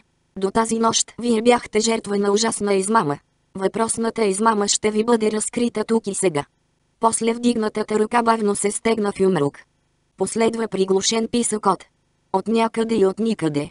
Някаква фигура се завихри във въздуха и се въплати точно под ръката на Бочелайн. И Непков се стъписа. Ха, това е страст. Демонката на походта, Агина Гейн. Сластната гола жена, призована от магията на Бочелайн, закрещя в ужас. Натрапница. Изрева некромантът скрита под маската на господарката на благонравието. Мислите ли, че страстта вирее само в съвкупление и угаждане на жалки изкушения? Ако е така, приятели, грешите. Страстта се ражда от натрапчивата идея. Обсебеността поражда фанатизъм. Фанатизмът ражда убийствена нетърпимост. Нетърпимостта води до потисничество, а потисничеството до тирания. А тиранията, граждани на Куейнт, води до края на цивилизацията. Ревнаха хиляди гласове. Страст проплака. Съжалявам. Съжалявам. Не исках. Няма вече. Точно така, отговори Бочелайн в отговор на зова на тълпите, без да обръща внимание на неубедителния хленч на Агинагейн. И тъй, продължи некромантът, мъдростта се връща в Куейнт. Вярата ви беше обърната, изкривена до омразен фанатизъм. Но за това не е нужно да казваме повече. С искрена скръп, уви, сега трябва да ви уведомя за смъртта на крал Макротус. Поклати глава. Не, не от моята ръка. Мъртъв е от гимнастика. И то от доста време. Уви, не можа да дойде тук, за да ви го каже сам, защото залата, където почива тялото му, се пази с магически прегради, тъй че не може да бъде възкресен. Но би било добре всички вие да навестите кралската му стая. Имайте я за свято място, да ви напомня вечно колко гибелно може да бъде изкушението на необозданата страст. Замълча, огледа извърнатите нагоре към него лица и накрая кимна, сякаш на себе си. Граждани, сега ще провъзглася новите ви властници. Истински достойни индивиди, олицетворение на всичко онова, което е правилно, индивиди, на които вие с радост ще подражавате във всички неща, свързани с благоприличието и доброто поведение. Нов жест. Ягина Гейн, освободена, изхлипа и побягна. От ултара се чу тежко скърцане. Бочелайн леко се извърна, кривна пръст и ултарът се издигна във въздуха. И смаяното множество видя изпод земята да се издигат новият крал и новата кралица на Куейнт. Вплетени в най-страстна прегръдка, в първия миг те не усетиха какво става. Но после полъх, тъй обичайен за нощта, ги извести за внезапната промяна в обстановката. И те надигнаха глави и загледаха те по огромната тълпа. Която също ги гледаше, зяпнала и смълчана. А след това подивя. Когато Бочелайн се върна при фургона извън загърнатия в пушеци град, слънцето вече беше изгряло. Небето беше синьо, а слънцето – златно. Еман Сипор го гледаше от земята, извил глава, лежеше по гръб, босите му крака бяха вдигнати високо на колелото на фургона. Некромантът носеше под мишницата си глава, закрачи право към него. Скъпи господин Ризи, може ли да попитам какво правиш? Отровите, господарю. Отцеждам си краката. Няма нужда от пускане на кръв, никаква, наистина. Виждам помътния цвят на очите ти, каза Бочелайн, че такава медицинска намеса без друго ще е безсмислена. Самата истина, отвърна Емансипор. Бочелайн мина зад фургона и Емансипор го чу как крови вътре. След малко некромантът се появи отново. Носеше стъклена котия, която Емансипор никога до сега не беше виждал. Е, господин Ризи, след като краката ти са прочистени толкова добре, колкото може да са, бих ли могъл да предложа да направиш закуската? Емансипор смъкна краката си, надигна се и изруга. Богове на бездната. Изтръпнали са. Все пак успя да изкоцука до огнището, което още димеше. Има греяно вино, господарю. Да ви налея ли? Хе-ме-ме. Да, чудесна идея. Налей си и на теб. Благодаря, господарю. Слугата замълча, за да запали лулата си.